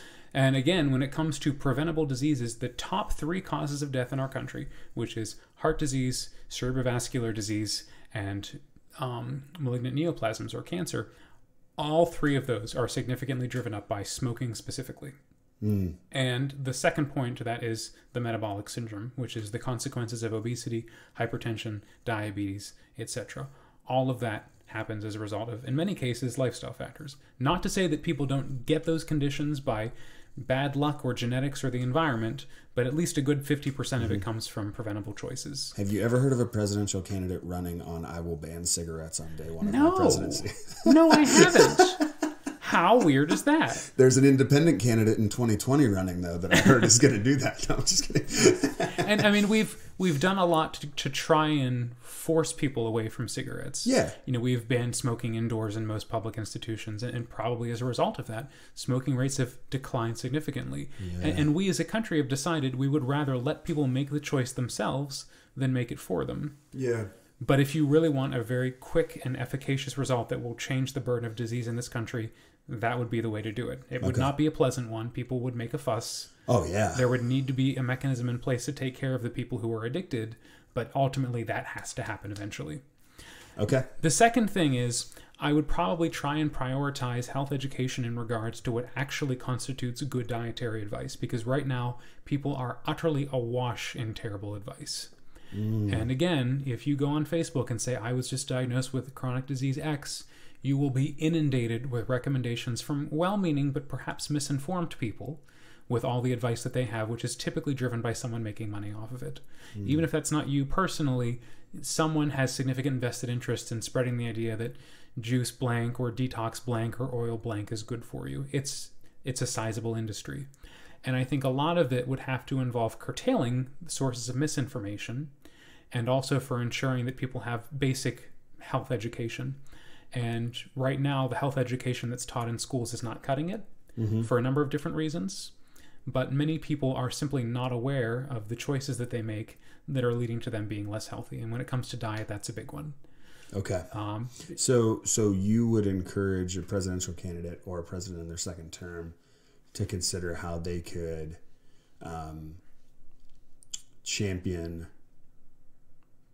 at a childhood level, maybe, but also at a public health level in general, better nutrition practices and more nutrition practices that are founded in in real, evidence-based scientific real practice, evidence-based yes. science practices, largely targeting um, obesity. I think that's the big one. Yeah. But uh, you know, even broader than that, I do think that people should be, and this also won't be popular. I think people should be penalized for spreading misinformation. Mm-hmm. I think when someone goes online and posts that you know there was a famous doctor who said vaccines cause autism and there's poison in it, when people say that, they endanger lives. People die because of those sorts of statements, mm-hmm. and I think people ought to be held accountable for that. Okay. And so That's not good. not just anyone should be able to and I realize this infringes on freedom of speech to some degree. Yeah. But when speech has consequences, there have to be some basic regulations on it. Now, I don't think that that should be just, you know, whatever the doctor says people should say or not say. I think there should be active discussion. But when people are actively fabricating information, Yeah. like Dr. Andrew Wakefield did, who was a gentleman who fabricated data to first postulate the idea that the MMR vaccine caused autism. He was struck off the registry. He lost his medical license in the UK. But then he came to the US and now he's writing books and going on tours and making millions. Like, we shouldn't be allowing that. Yeah. If someone is known to have deliberately lied to harm the health of the public for money, that needs to have consequences. Yeah. That And- needs to be regulated in some Exactly. some way. Exactly. Okay. And, and that applies to every pseudoscience peddler of the week Okay. who is, you know, putting out television series or making movies about their wild theories about what causes cancer or about what's wrong with this drug or that doctor. I mean, there's a lot of people who make a lot of money out of spreading misinformation, and that needs to be curtailed. Yeah, the problem with misinform- misinformation right now is going to be an interesting one to solve because it's not just in healthcare, it's in all places. Like, fact, trying to find the facts in what someone says, whether they're a politician, a business leader, in, Mm-hmm. It's- anyone, it's is becoming one, more yeah. difficult. Like, Snopes.com is a place I regular just because I'm like, okay, I just saw this random article. Is that even true? And it's like sometimes I have to go there and just see, like, is this even true? Or, or Yeah. other, like, fact check websites, Right. like, trying to figure out, like, Yeah, and what are the facts here? Like, what, what is going on? Like, It, I, and it's I'm- hard to tell for a lot of these Yeah, things. Yeah, and exactly, yeah. But science is unique in many ways in that with science, most of what we do, we try and predicate on some objective, demonstrable evidence. Yes. Like, if you don't believe me that vaccines don't cause autism, we can go down and pull up the original research articles. We can go to the data banks from the individuals who participate in those studies, and I can show you that evidence. Yeah. It's a little different to say, like, well, you know, so and so made this phone call and we don't have it on record, but I believe he said this. yeah. Like, science is wonderful because it often has answers. Yes. Now, that's not true for everything we do in science, and it may not mean those answers apply to you specifically, but for the the most egregious claims that people can make, you know, very often we do have a resounding yes or no in response. Do you think like I, I also think of like educationally I grew up with like that pyramid chart Mm-hmm. of the food. Yeah. Do you think like is that something that kids are still learning today? The pyramid Uh, chart? I don't, know. think so. No, I think they're using my plate, Okay, my plate. Okay, Yeah. so so a plate that kind of shows how their like the food general should proportions be of where divided or whatever. Yeah, yeah, that's, yeah. Okay. yeah. The food pyramid. Uh, there's a lot wrong with the food pyramid. Yeah, that's what I thought. I, I know the food pyramid has been uh, shown to be to have some real concerns. Yes. Yes. And a lot of those concerns are probably predicated on the fact that you know the people who produce that image and who propagate it are also receiving money from people who make certain products that appear on that food pyramid. Cool. Yep, this is the problem. This, This is, is the this is the problem. problem with with with the private part intersecting with the public Yes. health part Yes. that we were talking about earlier. The potential for lobbying for certain things to be put in front of you know, Exactly. populations. Same with the cigarette lobby did the same right, exact thing. right. So, yeah. So it's easy for me to say I have the perfect curriculum that everyone in the country should learn about how to recognize good and bad science and how to know, you know, what claims are true and which are not. But even if you trusted me, which you shouldn't without knowing anything about me, you may not trust the person who takes the place after me. And once we establish a person or an entity or an organization that has that sort of power, it is just begging to be abused by someone. Mm-hmm. So I I postulate this is how it would work in an ideal world. I don't think that's a feasible thing for us to pull off. Mm. Um, See, because I would have loved to learn in high school how to count my macros. Yeah, like why doesn't everyone learn that? But you know, even beyond that, I think one of the biggest deficiencies in education, whether it's related to health or to science in general, is that people are not taught how to evaluate evidence. Ooh, yeah. And so Critical and- thinking. and man, that's the reason thinking. why you know if i say hey here's a study involving 25 million administrations of the MMR vaccine someone will sooner believe i'm sorry if anyone actually has an aunt susan but if aunt susan comes along Whoever has an Aunt Susan. Um, it's I like, swear I just wow, can't I that can't name. stand you. but like if you know if aunt susan comes along and tells you a riveting heart-wrenching story to the contrary you'll believe her n of 1 her single individual case as opposed to the n of 25 million and people there's a number of things one is they don't understand statistics and probability very well and so they can't recognize the possible risks and possible benefits They're not mathematically minded. no, and they also don't recognize the difference between you know a pathos argument founded in you know passion and emotion versus a logos argument mm-hmm. founded in logic and reasoning. We change our mind. This is what I'm learning, and you tell me if you think I'm wrong. The pathos argument slash I would call it a narrative based connection mm-hmm. Typically will change your mind before a data centered driven model will. Mm-hmm. Like if you can't put the story or the passion to the data, then it can be hard to change someone's mind. Does that make sense? Yes, it does. Like connecting and, the and, dots. and I, yeah, and I remember, you know, in my in my journey to become a scientist and eventually a physician, I remember where those like transition points occurred, where you know I I had some deeply held belief that I grew up with, and I saw in front of me like, wait, but this doesn't match up with the data. Uh, which one is true? And you know, it took a few occasions of actually seeing how the data worked out and seeing how, you know, the the scientific model was predicting outcomes better than just my own personal here's what i wish would happen and i had to kind of learn to trust that system and understand how it works when it doesn't work what limitations it has and and that's not really something that most people in the population learn Yeah. Yeah. And I think, I think that's so good because I, I often argue, for example, like you've been handed a worldview or a way of seeing things based on maybe some, like I always use this from a theological standpoint of you've been handed a certain way of seeing scripture and now someone might be challenging that way of understanding God or way of understanding the scriptures, right? Mm-hmm. But if you don't also connect that to people and the outcome maybe of those theologies on people, like the narrative matters. Does that make sense? And yes, there's all kinds of other data points maybe to consider and things, but you have to narrativize even those data points to make it.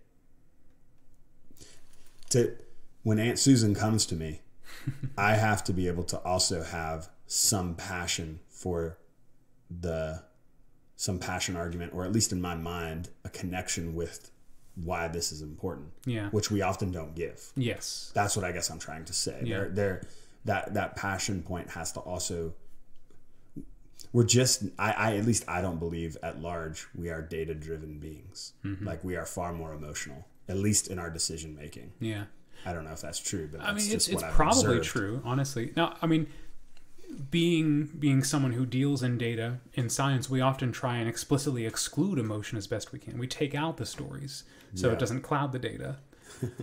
um, for for that exact reason, Yeah. because of how powerful those stories are. Um, but at the same time, you know, we also have to recognize when the data is incorrect or when we've overlooked something, and sometimes the story is the thing that brings that up.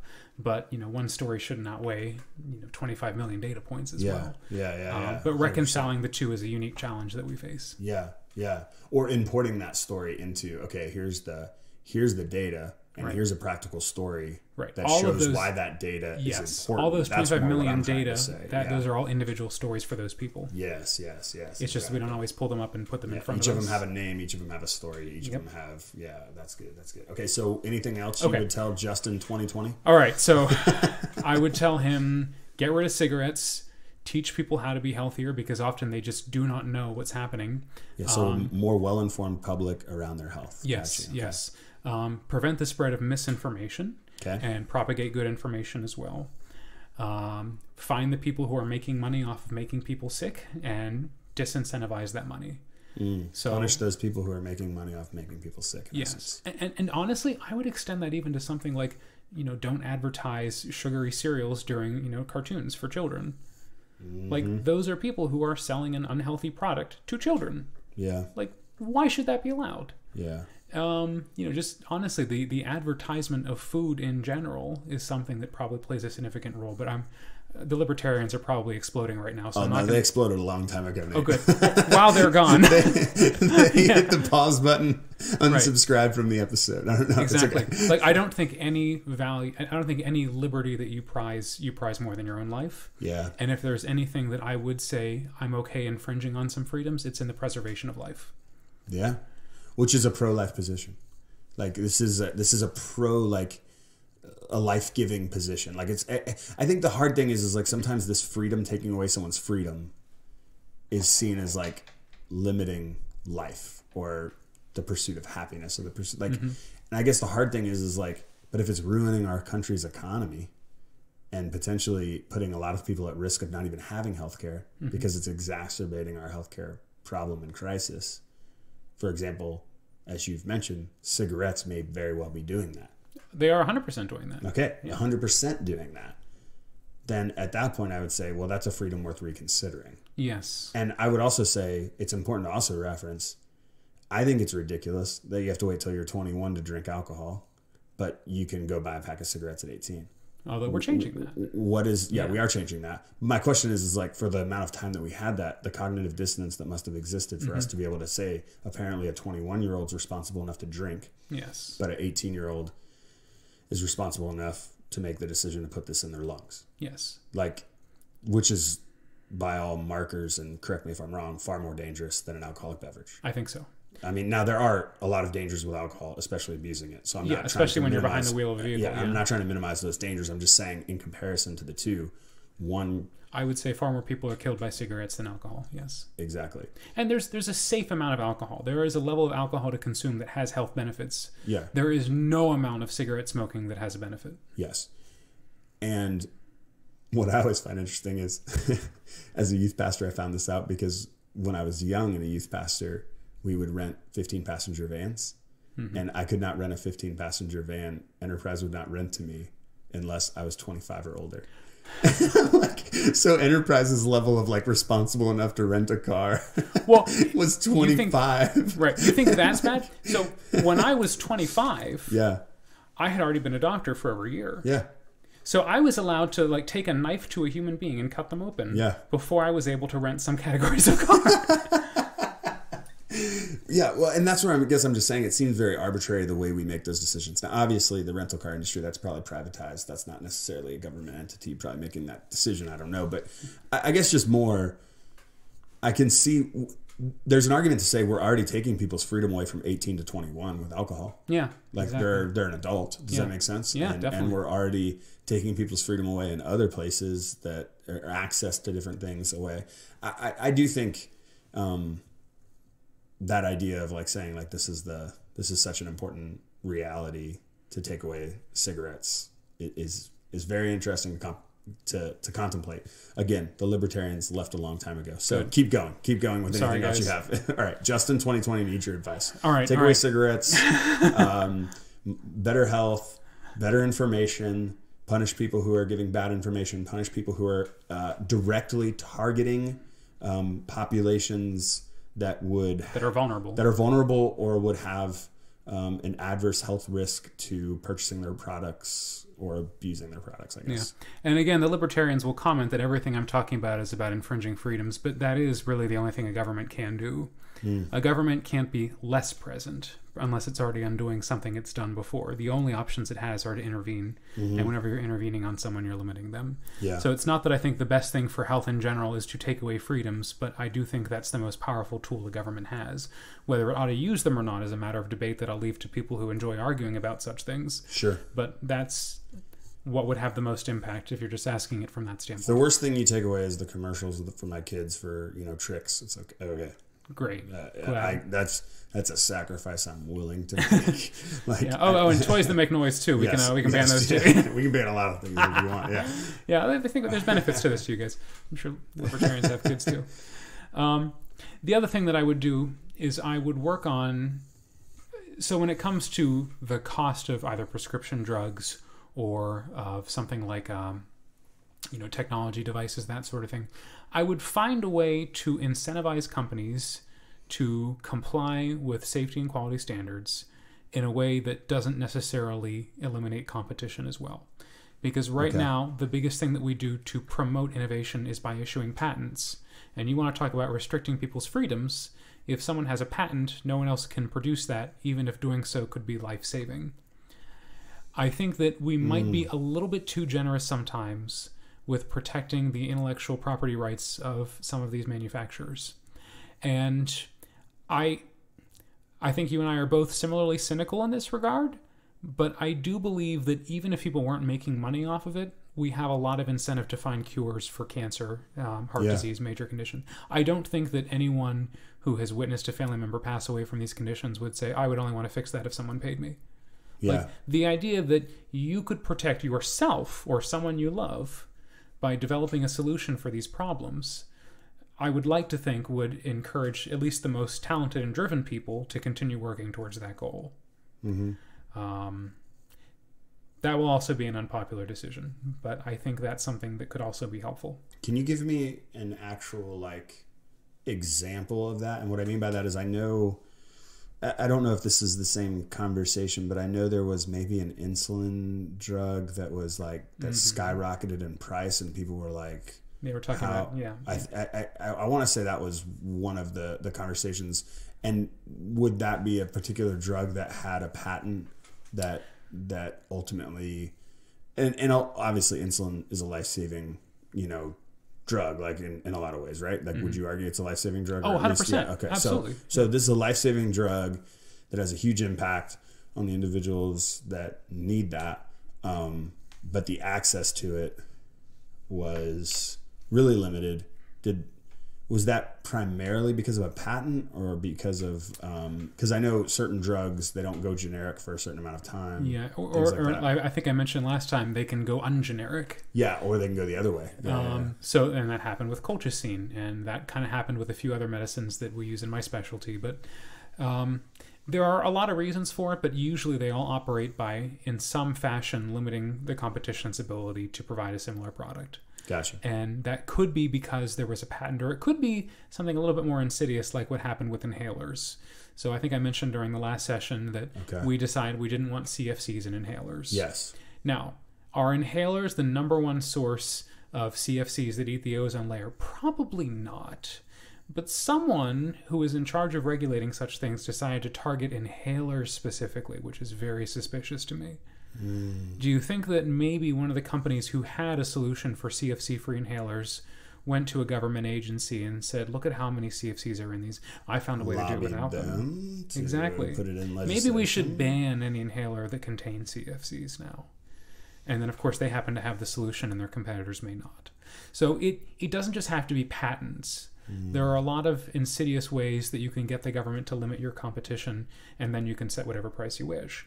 Um, I think that is something you kind of have to recognize on a case by case basis because there's no reason to say, you know, we're going to forbid the practice of banning CFCs in inhalers. You know, like I'm, I'm glad they're not in there anymore. Yeah, I don't sure. think that was our leading priority. Yeah. And so The costs may have outweighed the benefits in that exchange. Perhaps.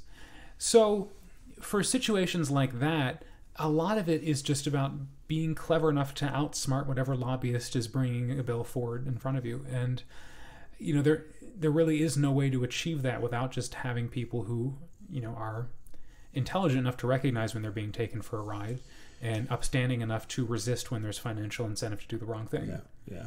So, so you're connecting even this particular one to campaign finance reform, potentially even into um, political finance reform in, in the sense of lobbying, and, Right. and that And- might and- even have a big impact on the healthcare industry. Exactly. It would a huge impact. I would assume the healthcare. lobby, even from insurance companies, Mm-hmm. is massive. Yes. Maybe even hospitals. Do hospitals have lobbyists Um, certainly. or influencers? So least? specialty societies do. Okay. Yes. Yeah. Um, so, for example, I'm a member of a number of societies like the American College of Cardiologists and the Yeah. Heart Rhythm Society. And you know, if if Congress is putting forth a bill that says like, "Hey, we're going to," you know, uh, allow this particular environmental contaminant that we know raises the risk of heart disease, we'll go down to D.C. Mm-hmm. and we will lobby against that bill. Yeah. Um, so it's and, and it's So not lobbying, the, I just want to be clear. Lobbying is not always bad. I know No. this, but I'm just making that clear to the listeners. Like, we always have a negative view of lobbying. Lobbying is just simply our right as citizens Mm-hmm. to encourage our legislators to do um, what's in what's in our interest or in Mm-hmm. the interest of their constituents. Like that's Yes. that's the goal of lobbying. The goal of lobbying is that we live in a democracy where we can have an impact and an input into what's being done. Mm-hmm. The problem is when it becomes a corporate lobbying yeah. entity, And- and likely I also likely set to gain from. especially when there's money involved too. Money, like I don't I don't pay legislators to you know vote against cigarettes or anything like Yeah. that. I don't do that. Um, but the tricky thing is, if someone comes up and says, "Hey, you know, here's a source of CFCs that harm the atmosphere. We'd like to get rid of it," you would have to have a pretty sophisticated understanding of the environment of healthcare to know why there's a perverse incentive for someone to make that claim. Yeah. Right. so you might not know because may not I'm just know. just in 2020. I don't know that that's going on. That someone has money to be made that someone from has convincing money to be made that. from convincing me that because I might be like, wow, I left that meeting. That seems pretty convincing that we need to get rid of these CFC things. Mm-hmm. Yeah, interesting. So a doctor having a doctor come and lobby me could be the thing that lets me know. Oh, I see. There's money to be made in that, and this is Mm-hmm. helpful Yeah. to information. So, yeah, it's a lot of it. I think it wouldn't be surprising to you if you knew where they were coming from. Like if someone from, you know, a company that makes EpiPens came along and said, "Hey, we want you to be aware of this problem with these substandard quality EpiPens on the market. We want you to ban them." You wouldn't have to really squint too hard to see the problem in Yeah. that, right? Yeah, Um, a lot of it, I don't think, is necessarily that these legislators are just unaware of what they're doing. I do think that a lot of it may be related to financial disincentives to do the right thing. sure. Corruption. Um, yeah, yeah. But but I also want to give them some credit and think Sure. that you know they may just not know. Yeah, yeah. Okay, have you covered everything you think you'd tell Justin 2020 if you had time with him? Uh, no, but that's good enough. Yeah, that's good enough. All right, all right. Um, what do you anticipate the next 10 years of healthcare look like if you had to bet on what might change or what might stay the same? So if I was like, all right, Nate, um, put, you know, some money down on what changes you see coming, hmm put, you know, put your money in it. What do you think is going to change in the next 10 years? So Or stay first the off, same? I don't think costs are going to be slowing down. I think they're going to continue going up. Mm-hmm. And a lot of the problem is, as we've gotten better and better at prolonging life, we've gotten people into situations that we've never seen before. You know, it's it used to be, and there's a lot of success stories here. But so um, one of the childhood cancers, ALL, used to be something like 90% fatal, Mm. and now with modern treatment, we've gotten that down to five percent. We've completely reversed it. Wow. But now we have to have clinics specifically for adult survivors of pediatric cancers. Or in my case specifically, I have an interest in adult survivors of congenital heart disease because even though they can surgically repair certain types of heart conditions that you're born with, eventually later in life you may get normal adult heart disease problems on top of some very unusual structures in your heart. And it used to be no one knew what to do with these patients. We'd never seen these problems before. So as people get better at surviving these conditions, they present with new, more challenging problems Wow. that we then have to apply cutting edge research for, uh, and that drives up costs significantly. And so we have to be investing money in new techniques and new medications and new technology for taking care of these people. And that will only continue to become more expensive as we succeed in our mission to make them live even longer. And then the next problem arises. Mm. So, So- healthcare is going to get more expensive. It's going to get people are going going to to live get more longer specialized. people are going to be living longer and doing better with conditions they did not do as well with before. Okay. But the costs are going to rise far out of proportion to the benefits we're getting. And I think we have a responsibility to pursue those benefits. I am thrilled at how much progress we've made at treating some of these pediatric conditions that people are now surviving late into adulthood for. But we have to be prepared for that.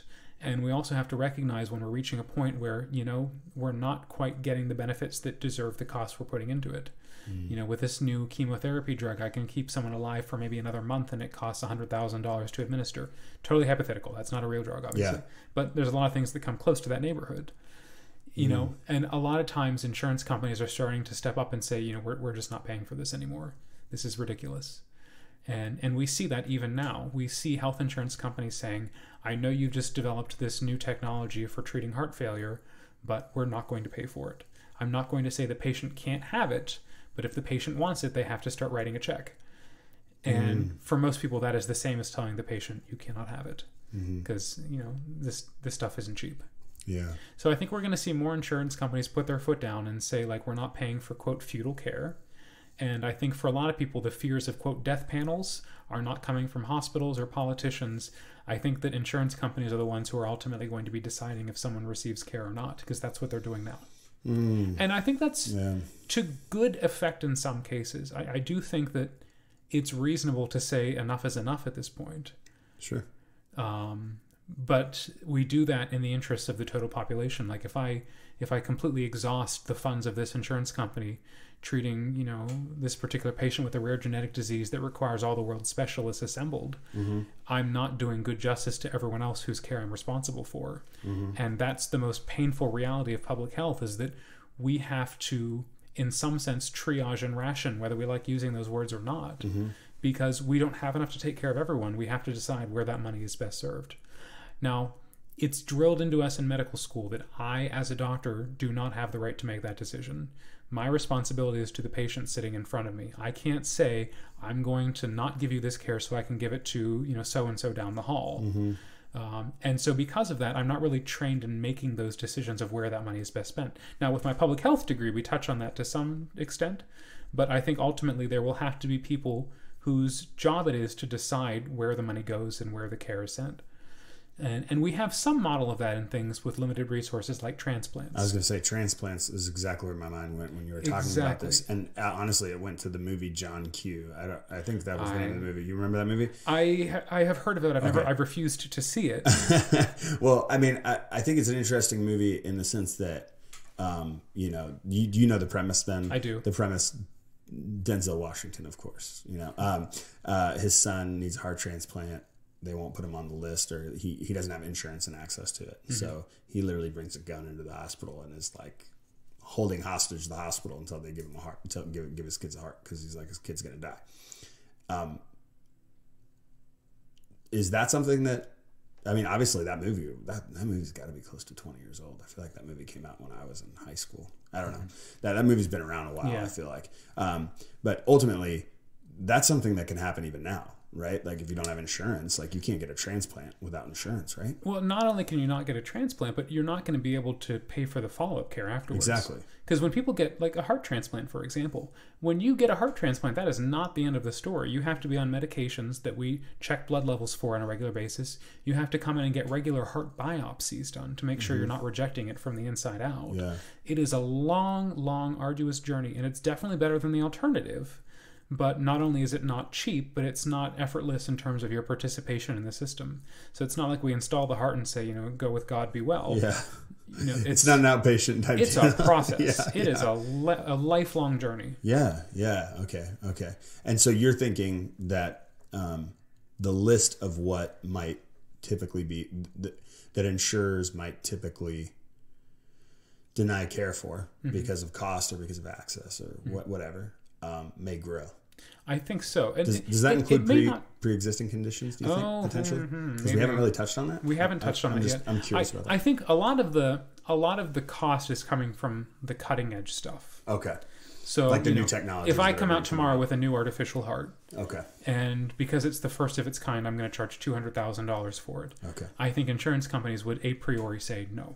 Yeah. I don't think they're going to scale back what they cover for existing technology because that's not really where the cost is coming from in most cases. Yeah. It's more in you know the new top of the line, under patent, expensive It's stuff. coming from being the first to the table with that yes. technology. Yes. Right. And, and the Until fact it gets it's and it's, it's the same with phones. Think of it as phones. Yeah. The newest phone comes out, it's a thousand dollars plus or whatever, but then a year later, it's six hundred dollars, exactly. and because it's been scaled down or scaled back, or there's a newer model out or whatever. Yeah. So you it's- may not get same the iPhone 11 heart. You may Yeah. get the 3G. You know. I don't want 3G. I want that 4G heart. I know, okay, I I got. Um, you. I got you. So, what about pre-existing conditions? Do you think anything will change in that in the next ten years? I, Because I we, know. we have not talked about that. I think even even There- last episode or yes. this episode, and I know whenever I hear a politician, and Justin 2020 will be no different. I have to say something about pre-existing conditions, Nate. Yes. So what would I say, well, or what, First what's off, the landscape? to, to describe the landscape, until the Affordable Care Act under President Obama, it was legal to either deny or make cost prohibitive health insurance for people with, quote, a pre existing condition. And given that the average adult has three things that could be described as a chronic disease, that was not a hard standard to meet.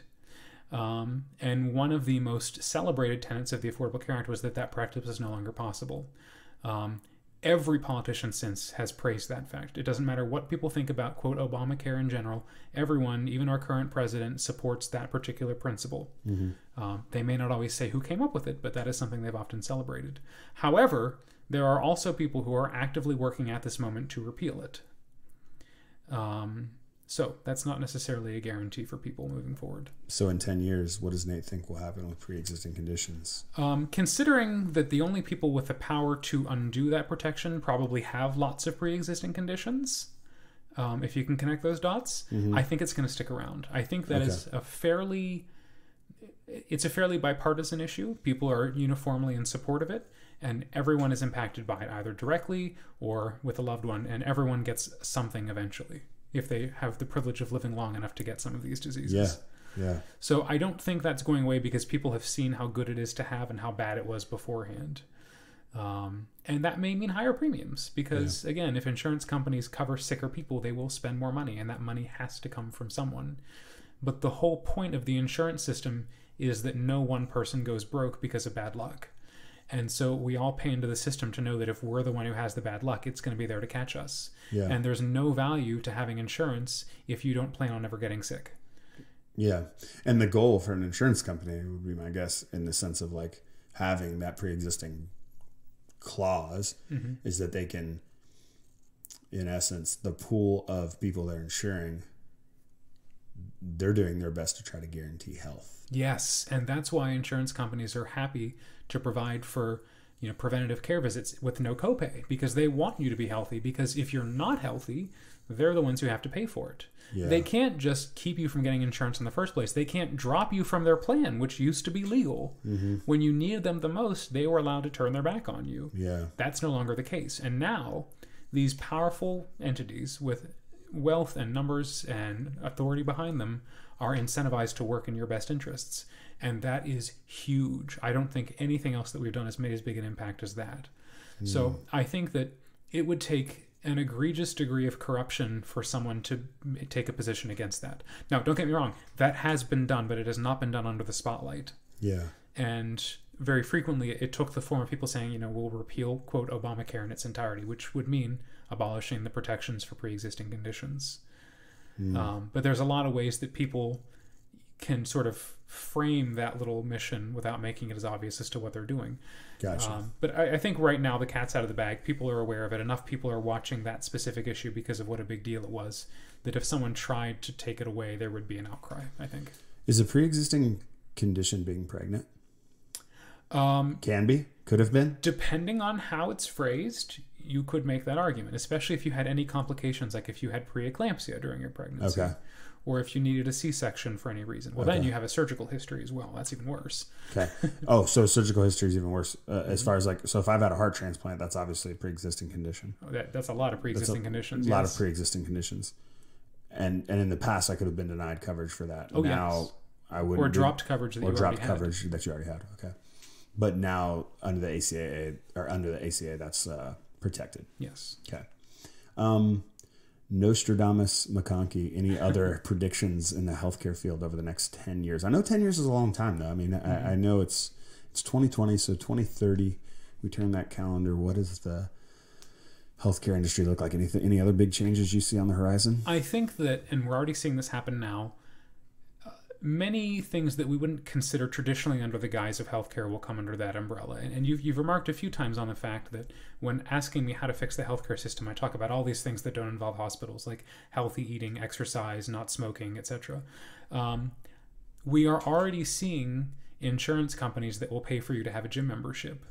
We are already seeing insurance companies that will give you funding to pay for a device like an Apple Watch that can monitor your EKG and tell if you're having heart rhythm problems. You know, we're seeing as they're incentivized to do so more and more, these companies are looking farther upstream at what's leading people to get sick and trying to intervene as early as possible. And Yeah. so I think that there's going to be more money and more effort put into keeping people from getting sick because that's the only way that we're going to reduce the cost of treating them once they are. Yeah. I mean, I know, like, obviously, I harp a lot about CrossFit. That's something I do, and it's also something that I am invested in as a CrossFit coach instructor. And their big thing, like, they talk a lot about it, like, getting people healthy, like, and not just from a physical standpoint of like this, but they're trying to, you know, really have evidence based research in what they're doing. Now, now, obviously, everyone's probably trying to do that, but even in in older populations and scaling workouts for those particular individuals and um, targeting like disease and such like that. Like even like CrossFit, CrossFit challenged the soda companies in like legislation, like which I was like, oh, that's interesting that CrossFit thinks that's important, but for them they were like, That's huge the sugar is really a big problem. It like, is. and and it's and and and how much of it you can get and how big these containers are that are being marketed and sold to people. But anyway, I just say all that to say like I do think even even the fitness industry itself, and by the way, that's a big net, so there's a lot of difference in that too. But some some within the fitness industry are recognizing the larger health picture than just showing up to the gym for 30 minutes or an hour. You Yeah. know what I mean? Like that there's huge other factors at play. You can go to the gym every day for 2 hours and still be so unhealthy Yeah. because of the way you eat Yeah. and the way you know so so yeah i think i think it'll be interesting to see how insurance companies incentivize that more because there are a lot of people i know that are also incentivized to have a certain like body weight even like Mm-hmm. like like like if they're if their employer and i want to say it's their employer health care or whatever uh, insurance that um that if they fall into a particular category of being under obese or whatever that would does that make sense like Mm-hmm. they they they they get some type of incentive to to, Mm-hmm. to to be a particular to be whatever the body weight is for their particular size does that does that make sense like like Yeah, well, I mean, we had that. So when I was at Des Moines University, which is where I went to med school in Iowa, you know, we had incentives for using the fitness center. yeah Like, so at the beginning, we all participated in like a health analysis. They said, hey, you guys are going to be doctors. You should know where you stand first. yeah So we all had blood work done and we had anthropometric measurements. They took our weight and our body fat percentage and our height and everything. And they said, okay, here's where you are right now. Um, if you take this many classes in the gym or do this much, then you'll receive these particular rewards moving upwards. Um, And they also had uh, certain provisions for employees as well to um, you know either upgrade to standing desks for example or again you know scan in at the gym so many times a week or something and there were Yeah. there were rewards and incentives for that yeah and so if you can if you can extrapolate that out to a, a larger population you might see more results because we do t- tend to be a challenge driven type people not all Yeah. people but a lot of people like a challenge Yeah. like to be like okay there's going to be an there's going to be a reward at the end of this Yes. so a challenge that leads to a reward um, especially if that reward is in any way financial. Yeah it's going to have uh, a minimized impact on your premium or on some, something like that. Does that make sense? Yes, so and you think that's possible in the next 10 years that you're going to see more access to gyms potentially access to technology wearable technology that Mm-hmm. might track your heart? Th- things and other things like that are going to become more and more popular as being so. something that because you we're work already with seeing your, that happening now. Yeah and being something that you work with your insurer to to have provided? Yes. Interesting. Much like how a car insurance company might give you a device that plugs into your onboard diagnostics and says hey if you drive safer then we'll give you lower premiums. Yeah. I think the same thing is true for health insurance. If they say hey if you make healthier choices you'll get lower health premiums. Okay. Anything else on that on that front? I got a couple other questions, but anything else on that? Uh, I think that about covers it. Okay. Uh, next, what does the path to universal health care look like? Do you think it's a foregone conclusion that we will get there, or is it just a matter of how we get there? Or do you think there are other options that could solve our current problems? What's interesting is you didn't mention anything about universal health care when you rep, when you consulted with Justin 2020. That is correct. I did not. You everything you mentioned were other solutions to the current issues. So Mm-hmm. um, I don't anticipate in the next 10 years you see cigarettes being banned. no, I don't. Okay. Unfortunately. So, but okay, maybe this question can be tailored then just to simply talk about universal health care and that particular proposition instead of necessarily other current other issues. Does that make sense Yeah. to solve other issues? Because we've kind of already answered that question. Yeah. So maybe we can just talk about what do you think the path to universal uh, healthcare looks like, and do you think it's a foregone conclusion, um, or a matter of you know how, how we get there? I guess, or, or is, it, Yeah. is it something that you don't think is possible in the United States? With I, I think it is certainly possible. I don't think it is inevitable. Okay. and I think a few things would have to happen. And so, you know, the the advice I gave Justin 2020 was mostly predicated on how to make healthcare costs lower by making people healthier. Yes. And I think that the first step to giving healthcare to everyone is being able to afford giving healthcare to everyone. Yep. If we can't pay for it for the people we have, we have no business expanding it to people who aren't included. Mm. And now that being said, we could say like, well, the money must be coming from and going somewhere. Like, if there's anything worth spending money on, shouldn't it be the preservation of human life? And while that is somewhat true, that does not seem to be the prevailing notion in the country. People are willing to spend far more money on far greater things, bigger things. I mean, not more important things. Yeah. Um, but uh, for whatever reason, this tends to fall by the wayside a little bit. Um, I think that we're going to have to we're going to have to decide how much healthcare people deserve, quote unquote, if you want to use that word.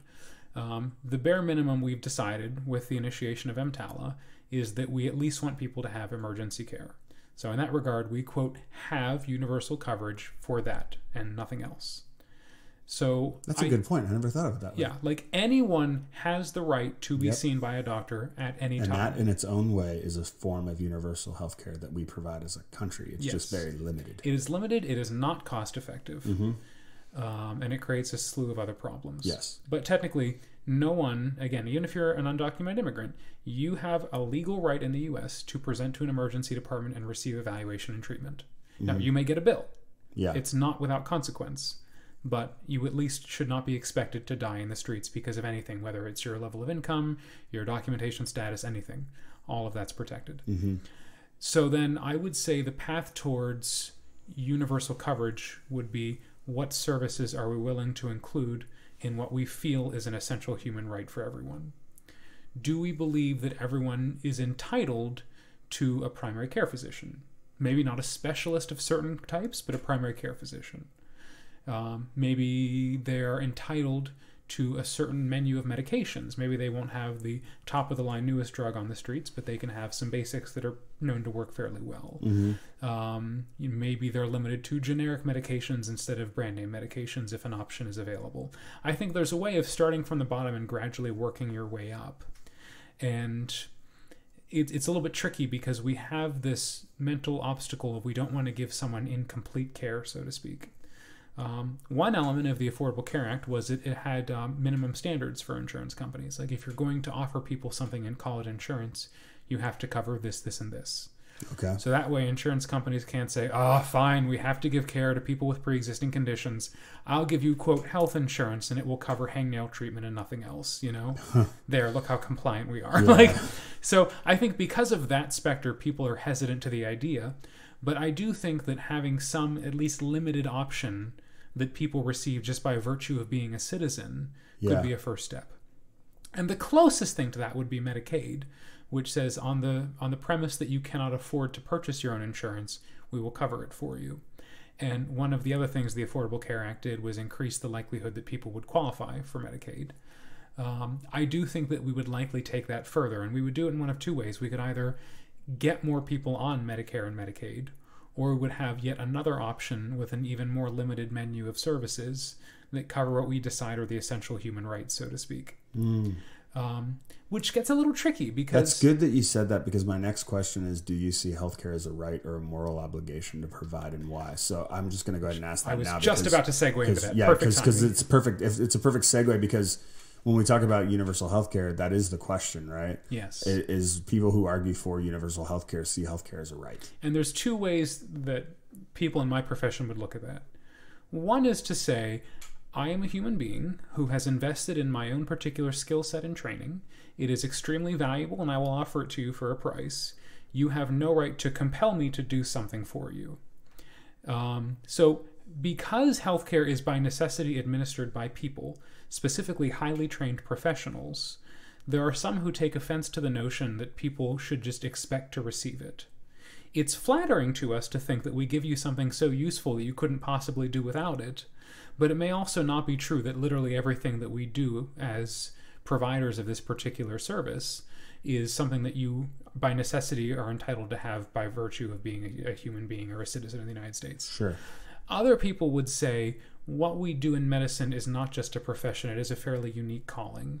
It's one that society has invested a considerable amount in allowing us to pursue through funding for our training, for the privilege of taking care of them while we're still learners as medical students and residents, um, and in exchange for even even such things as you know we in medical school we work with you know human bodies in an anatomy lab like people the, society has given us a great deal to make us who we are, and we owe them something in return. Um, I tend to be in the latter camp. I believe that what I do is different than someone who, you know, like Sal's Cookie Factory or whatever we were Sure. using earlier. I think that the ability that I have to practice medicine is based on a skill set that I couldn't have acquired on my own. It's something that society has given me. And I believe that I would be willing to do work I would rather not do on the understanding that that service is offered to me as well and that I have a debt that I need to pay back. Not just like a financial debt for med school, but like people have allowed me the opportunity to learn my craft by practicing on them. And I think that, you know, as part of the oaths that I took when I graduated and as part of a sense of common decency, I think that I should offer that service to as many people as I reasonably can. Um, so calling something a right is a little bit challenging because Especially in our cultural right context. because in order to give someone else the right to healthcare, I have to restrict someone else's right to decide who they give it to. I have to restrict my right to work a standard 9 to 5 job, you know what I mean? Yeah, which back to smoking, for example, to give someone the right to smoke for a long time meant we also were taking away someone's right to have clean air if they were dying by secondhand smoke. Right, right. So like so like yeah. any right you might give someone can have a cost to other people's rights. yes. So it's interesting to consider in this particular thought Yes. of giving someone the right to health care can potentially limit the right of of a physician. I, I. Mm-hmm. or, or all the, the Or- or the countless healthcare industry in professionals. general. Yeah, Yeah, yeah. exactly. I don't want to act like doctors are the Yeah. only ones who No, provide health. I understand. yeah, But, but you know, we're, we're kind of an important part of it. yeah. So, I, I suppose I would be comfortable saying that people should probably have the right to receive a service that we can reasonably give them if it makes a significant difference in their life. Um, I do think that right has limits. I don't think that every human, by virtue of being a human being, is entitled to receive the top of the line, you know, artificial heart X thousand or whatever. Mm-hmm. Yeah. Um, Or even something like, and I, and I don't want to pick on this particular thing, but like some subset like dermatology, unless it's something that maybe is absolutely necessary. But and I don't know, maybe dermatology is a bad example. That's a bad I'm not- example. Okay, that's a bad example. Okay, it's a very bad example. All right, take that back. I'm trying to think of like a subset. Well, obviously plastic cosmetic surgery, surgeons cosmetic cosmetic surgery, which obviously at the same time can also have a huge effect on on someone because Did we talk about this on air? Or was this like just a weird little conversation we had one time about how cosmetics have a significant impact on a person's health? Yeah, we talked about this. Uh, I don't know if we uh, were it was recording not. It was one. not recording. That was a side conversation because you had brought in depression. I think er, into that conversation. Was that right? Uh, I, I brought like- a lot of things in that Yeah, conversation. yeah, yeah. But I wouldn't. One thing is, insurance companies regularly deny people what are called "quote cosmetic procedures," which I do think is a mistake. yes. Um, Why? Why? Maybe we can get off on that tangent just real okay, quick. so if we have, and there have been studies on this, if I have a high school teenager who is diagnosed with acne, the psychological impact it has is comparable to a classmate diagnosed with cancer. Like it is That is wild. i i- exactly. So This is why teenagers just don't make sense. no, they don't. No, but like things that impact cosmetic Yes. appearance have a huge impact on your perceived self worth and how other people treat you. It's shallow, but it is important. Which can lead to anxiety, depression, Yeah. other other illnesses that have a real life threatening Yes. risk, right? Yes. So that particular treatment you could connect to being I don't want to say life threatening, but the outcomes of that going untreated could have significant Long-reaching health impacts. effects yes, yeah, I think so. Okay. Um, so I, I don't want to say that all of that is So it's hard to bad. it's hard to pick that this is where this is where I think it gets so hard for me because when we're talking about whether or not it's a moral obligation or a right, it's like, yeah, I do think emergency care is a right. I think having a family physician would probably be, you know, having or having a, you know, your own particular primary care doctor um, would be a right. Um, but then as you kind of keep going down the list, where obviously heart, you know, artificial heart 5000 or whatever you said like Yeah. that that that probably is a little over the top for calling it uh, a right or a moral obligation to the best technology right Yes. okay but where do you think that line is that's a that's a hard line like where i because i'm trying to sit here and think of it in my head and i said dermatology and then the moment i said it i was like no there's a ton of reasons that's a bad idea and then i thought plastic surgery and then there's a ton of reasons that's a bad idea And plastic surgery is more than cosmetic. yeah, plastic surgery. is more than cosmetic surgery. I, I, but uh, yeah, yeah, and I don't want to say. Pla- I'm more saying I'm thinking of plastic surgery. You're talking about Not- like 90210 kind of stuff. No, I'm not. Well, okay, that's the plastic surgery. Uh, but I'm even saying like the reasons I'm saying plastic surgery might not be the case is because if someone's in a car accident and they have a, a real need for particular Reconstructive for reconstructive that, surgery. Maybe that, okay. That, so so maybe they're, two different terms. sort of thing, Yes. So, but I'm thinking in that particular case, it's like that could be necessary. I don't know. This is so. So this is this is this is clearly the particular problem as we think about Yeah. where the line is for universal Well, coverage, right? I will say, generally speaking, when we talk about the rights that a person should have, the function of a right is to, at least in some way, take away the the ebb and flow of fate. Like if someone has, you know, a right to, well, well, if we talk about people all being born equal and having a right to life, liberty, and pursuit of happiness, we will say no one can be penalized because of something just based on how they were born into the world. If they happen to be the wrong skin color for example mm-hmm. or you know if they happen to be under the this particular country versus this one that won't allow its citizens to leave or read or vote or anything like that i think that rights in some ways are means of equalizing the opportunities at least that everyone is able to start from. It doesn't mean everyone is always on equal footing but they at least have the same starting point. point and so, in that regard, when it comes to the right to health care, I think that people should be afforded the ability to have whatever care would be reasonably expected of a citizen, independent of some poor circumstances or bad luck, like if they happen to be born with a genetic condition or if they happen to fall on hard times and can't afford their own private health insurance. Gotcha. It does not mean that we have a right to perfect them in a way that would give them an undue advantage to anyone else who didn't have that particular opportunity. It doesn't mean that we necessarily have to remove all of the consequences of their personal life choices. It doesn't mean that, you know, sometimes bad things and acts of God happen and we can't impoverish the nation trying to treat each and every one of them. Hmm. Yeah. So, in terms of that basic setup, I, I do think that certainly emergency care, probably primary care as well, falls into that category. Um, and anything that can reasonably culminate in a life threatening emergency, I think people should have a right to find a way of avoiding. Um, but again, that's. You know, it, it's it's hard to take any condition and not spin it into something eventually life threatening. You know what I mean? Well, it's hard to take any condition not spin it into some eventually life threatening, but it's also hard to keep widening that pool and seeing the consequences of the cost. Likely. Yes, Does that make sense? Like that's the that I think is the the really difficult thing, and then also to see once you hand it and put it in the hands of legislators and government. The cynical Justin comes back to the forefront of like, how's that gonna work? Like, how Yeah. how are we gonna make sure people get access to all of that? So, do you anticipate universal? You said universal healthcare is something you think is possible, but not a foregone conclusion, or likely, but not a foregone conclusion. I'm curious what, Um, I honestly think it's likely. especially when you look at the young demographic. The young demographic loves the idea. I don't know that they fully understand it. Yeah. or and I don't know that they've they haven't actually had to have health care a lot of them, you know, one of the things the ACA did was allow you to be on your parents' health care. So, like, they haven't necessarily had to pay for health care the way maybe their parents' generation has. So, like, I, I, I'm the first to say, like, uh, sometimes the younger demographic, of which I call myself millennial, because I am in the millennial demographic, it can be naive to the to, to, to the realities. But at the same time, those younger markers seem to really support something like universal Yeah. health care. And eventually those are going to be the primary voting block of of America. Yeah, if they still have that opinion when they reach If they still have that opinion when they reach that point. Which Exactly. you know, anyone who has been underinsured and gotten a hospital bill becomes very enthusiastic about universal single payer coverage. Of course. Yeah. So, So, I mean, I also think that it the will- more underinsured people we have, the more likely we have, the more underinsured, Yeah. frustrated people we have. yeah, Although I don't know if that's true because there's a lot of people that I feel like I know that are underinsured that are very against universal health care. yeah, Until it becomes an intimate thing for you, maybe. Yeah. Like to where you actually have.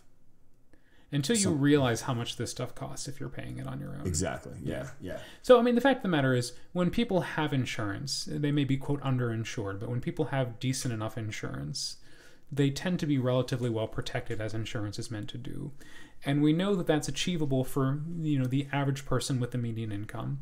It's not difficult to say, we may not be able to talk about whether everyone in the world deserves X or Y or Z in terms of healthcare coverage, but if everyone at least deserves enough money to purchase their own health insurance, I think that you know, even if that ends up being funded by taxes, which is probably the most likely way it's going to happen, I think that's a very low hanging and achievable goal that people could pursue.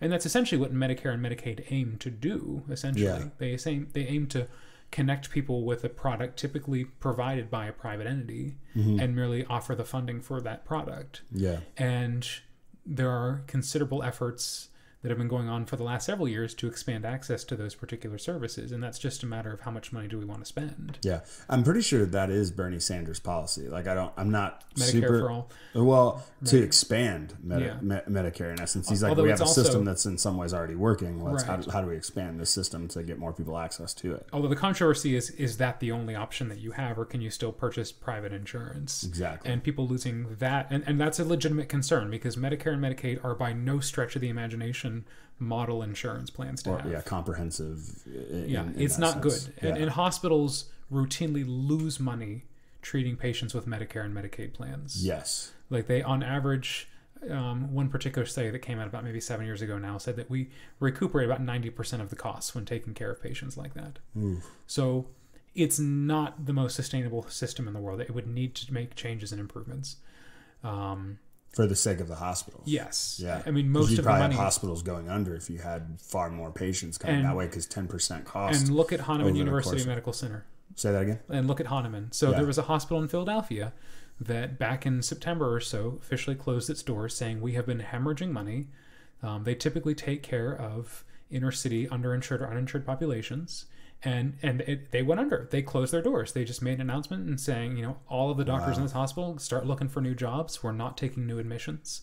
When a patient's discharged, we close the room and no one goes in there again until the hospital's empty Wow. and and this was a shock to so many people especially fresh graduates from med school who had just signed a contract there as their first job for the next three years bought houses and now they're unemployed mm. so it's a real hazard. It's not just that the money just will keep coming that the ceo will sell one of his minivans. Like you know it's a real possibility that these places completely stop functioning. And so right now private insurance being able to offer maybe a little bit better reimbursement and compensation than Medicare and Medicaid, that may be keeping the system afloat in some ways.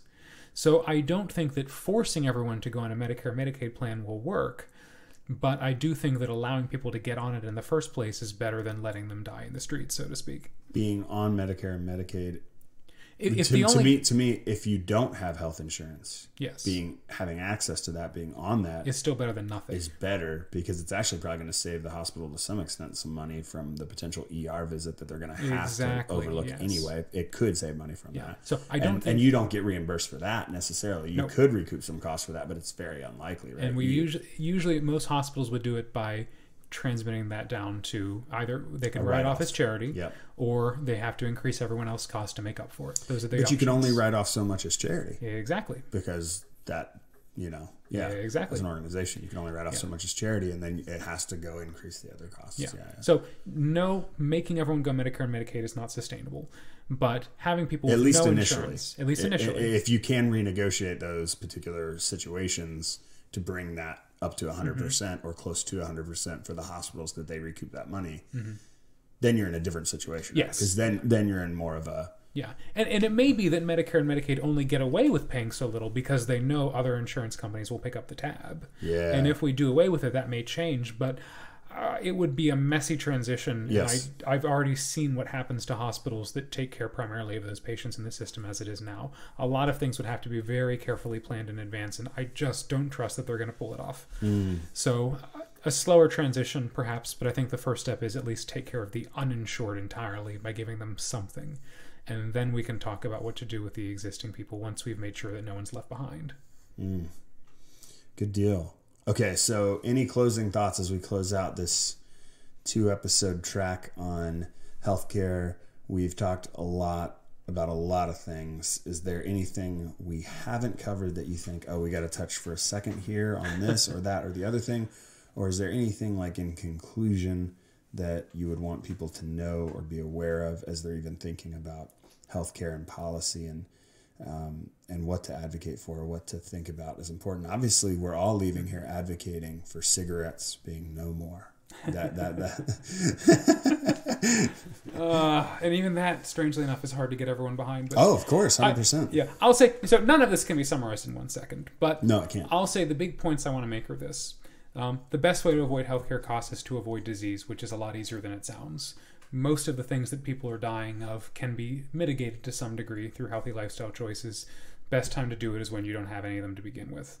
The other thing is, no matter what we do, no matter how hard we work, people are going to get sick, they're going to get worse, and they will eventually die. We have to accept that reality and know when it's time. Um, not everything that we do in healthcare is necessarily cost effective, partly because we spend money treating things that are not easily treated. And I think for some people, it's reasonable for them to recognize there are some things that I would not want. Discuss them early with people who are nearest to you to make those decisions. We touched a little bit on that last Yeah. week.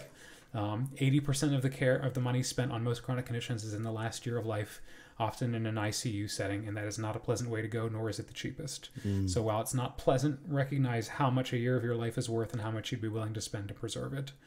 And lastly, no one has any answers for this. I don't think that any politician has it perfectly right, but even if you don't understand how healthcare works, it's at least easy to recognize when someone has a perverse incentive to do the wrong thing. Hold your politicians accountable. If they do something that isn't in your best interest, make sure that you're aware of it. Um, oftentimes, a lot of these things that people get into arms about, whether it's uh, something like universal health care, it's strictly based on partisan politics. Most people have no idea what actually goes into these decisions.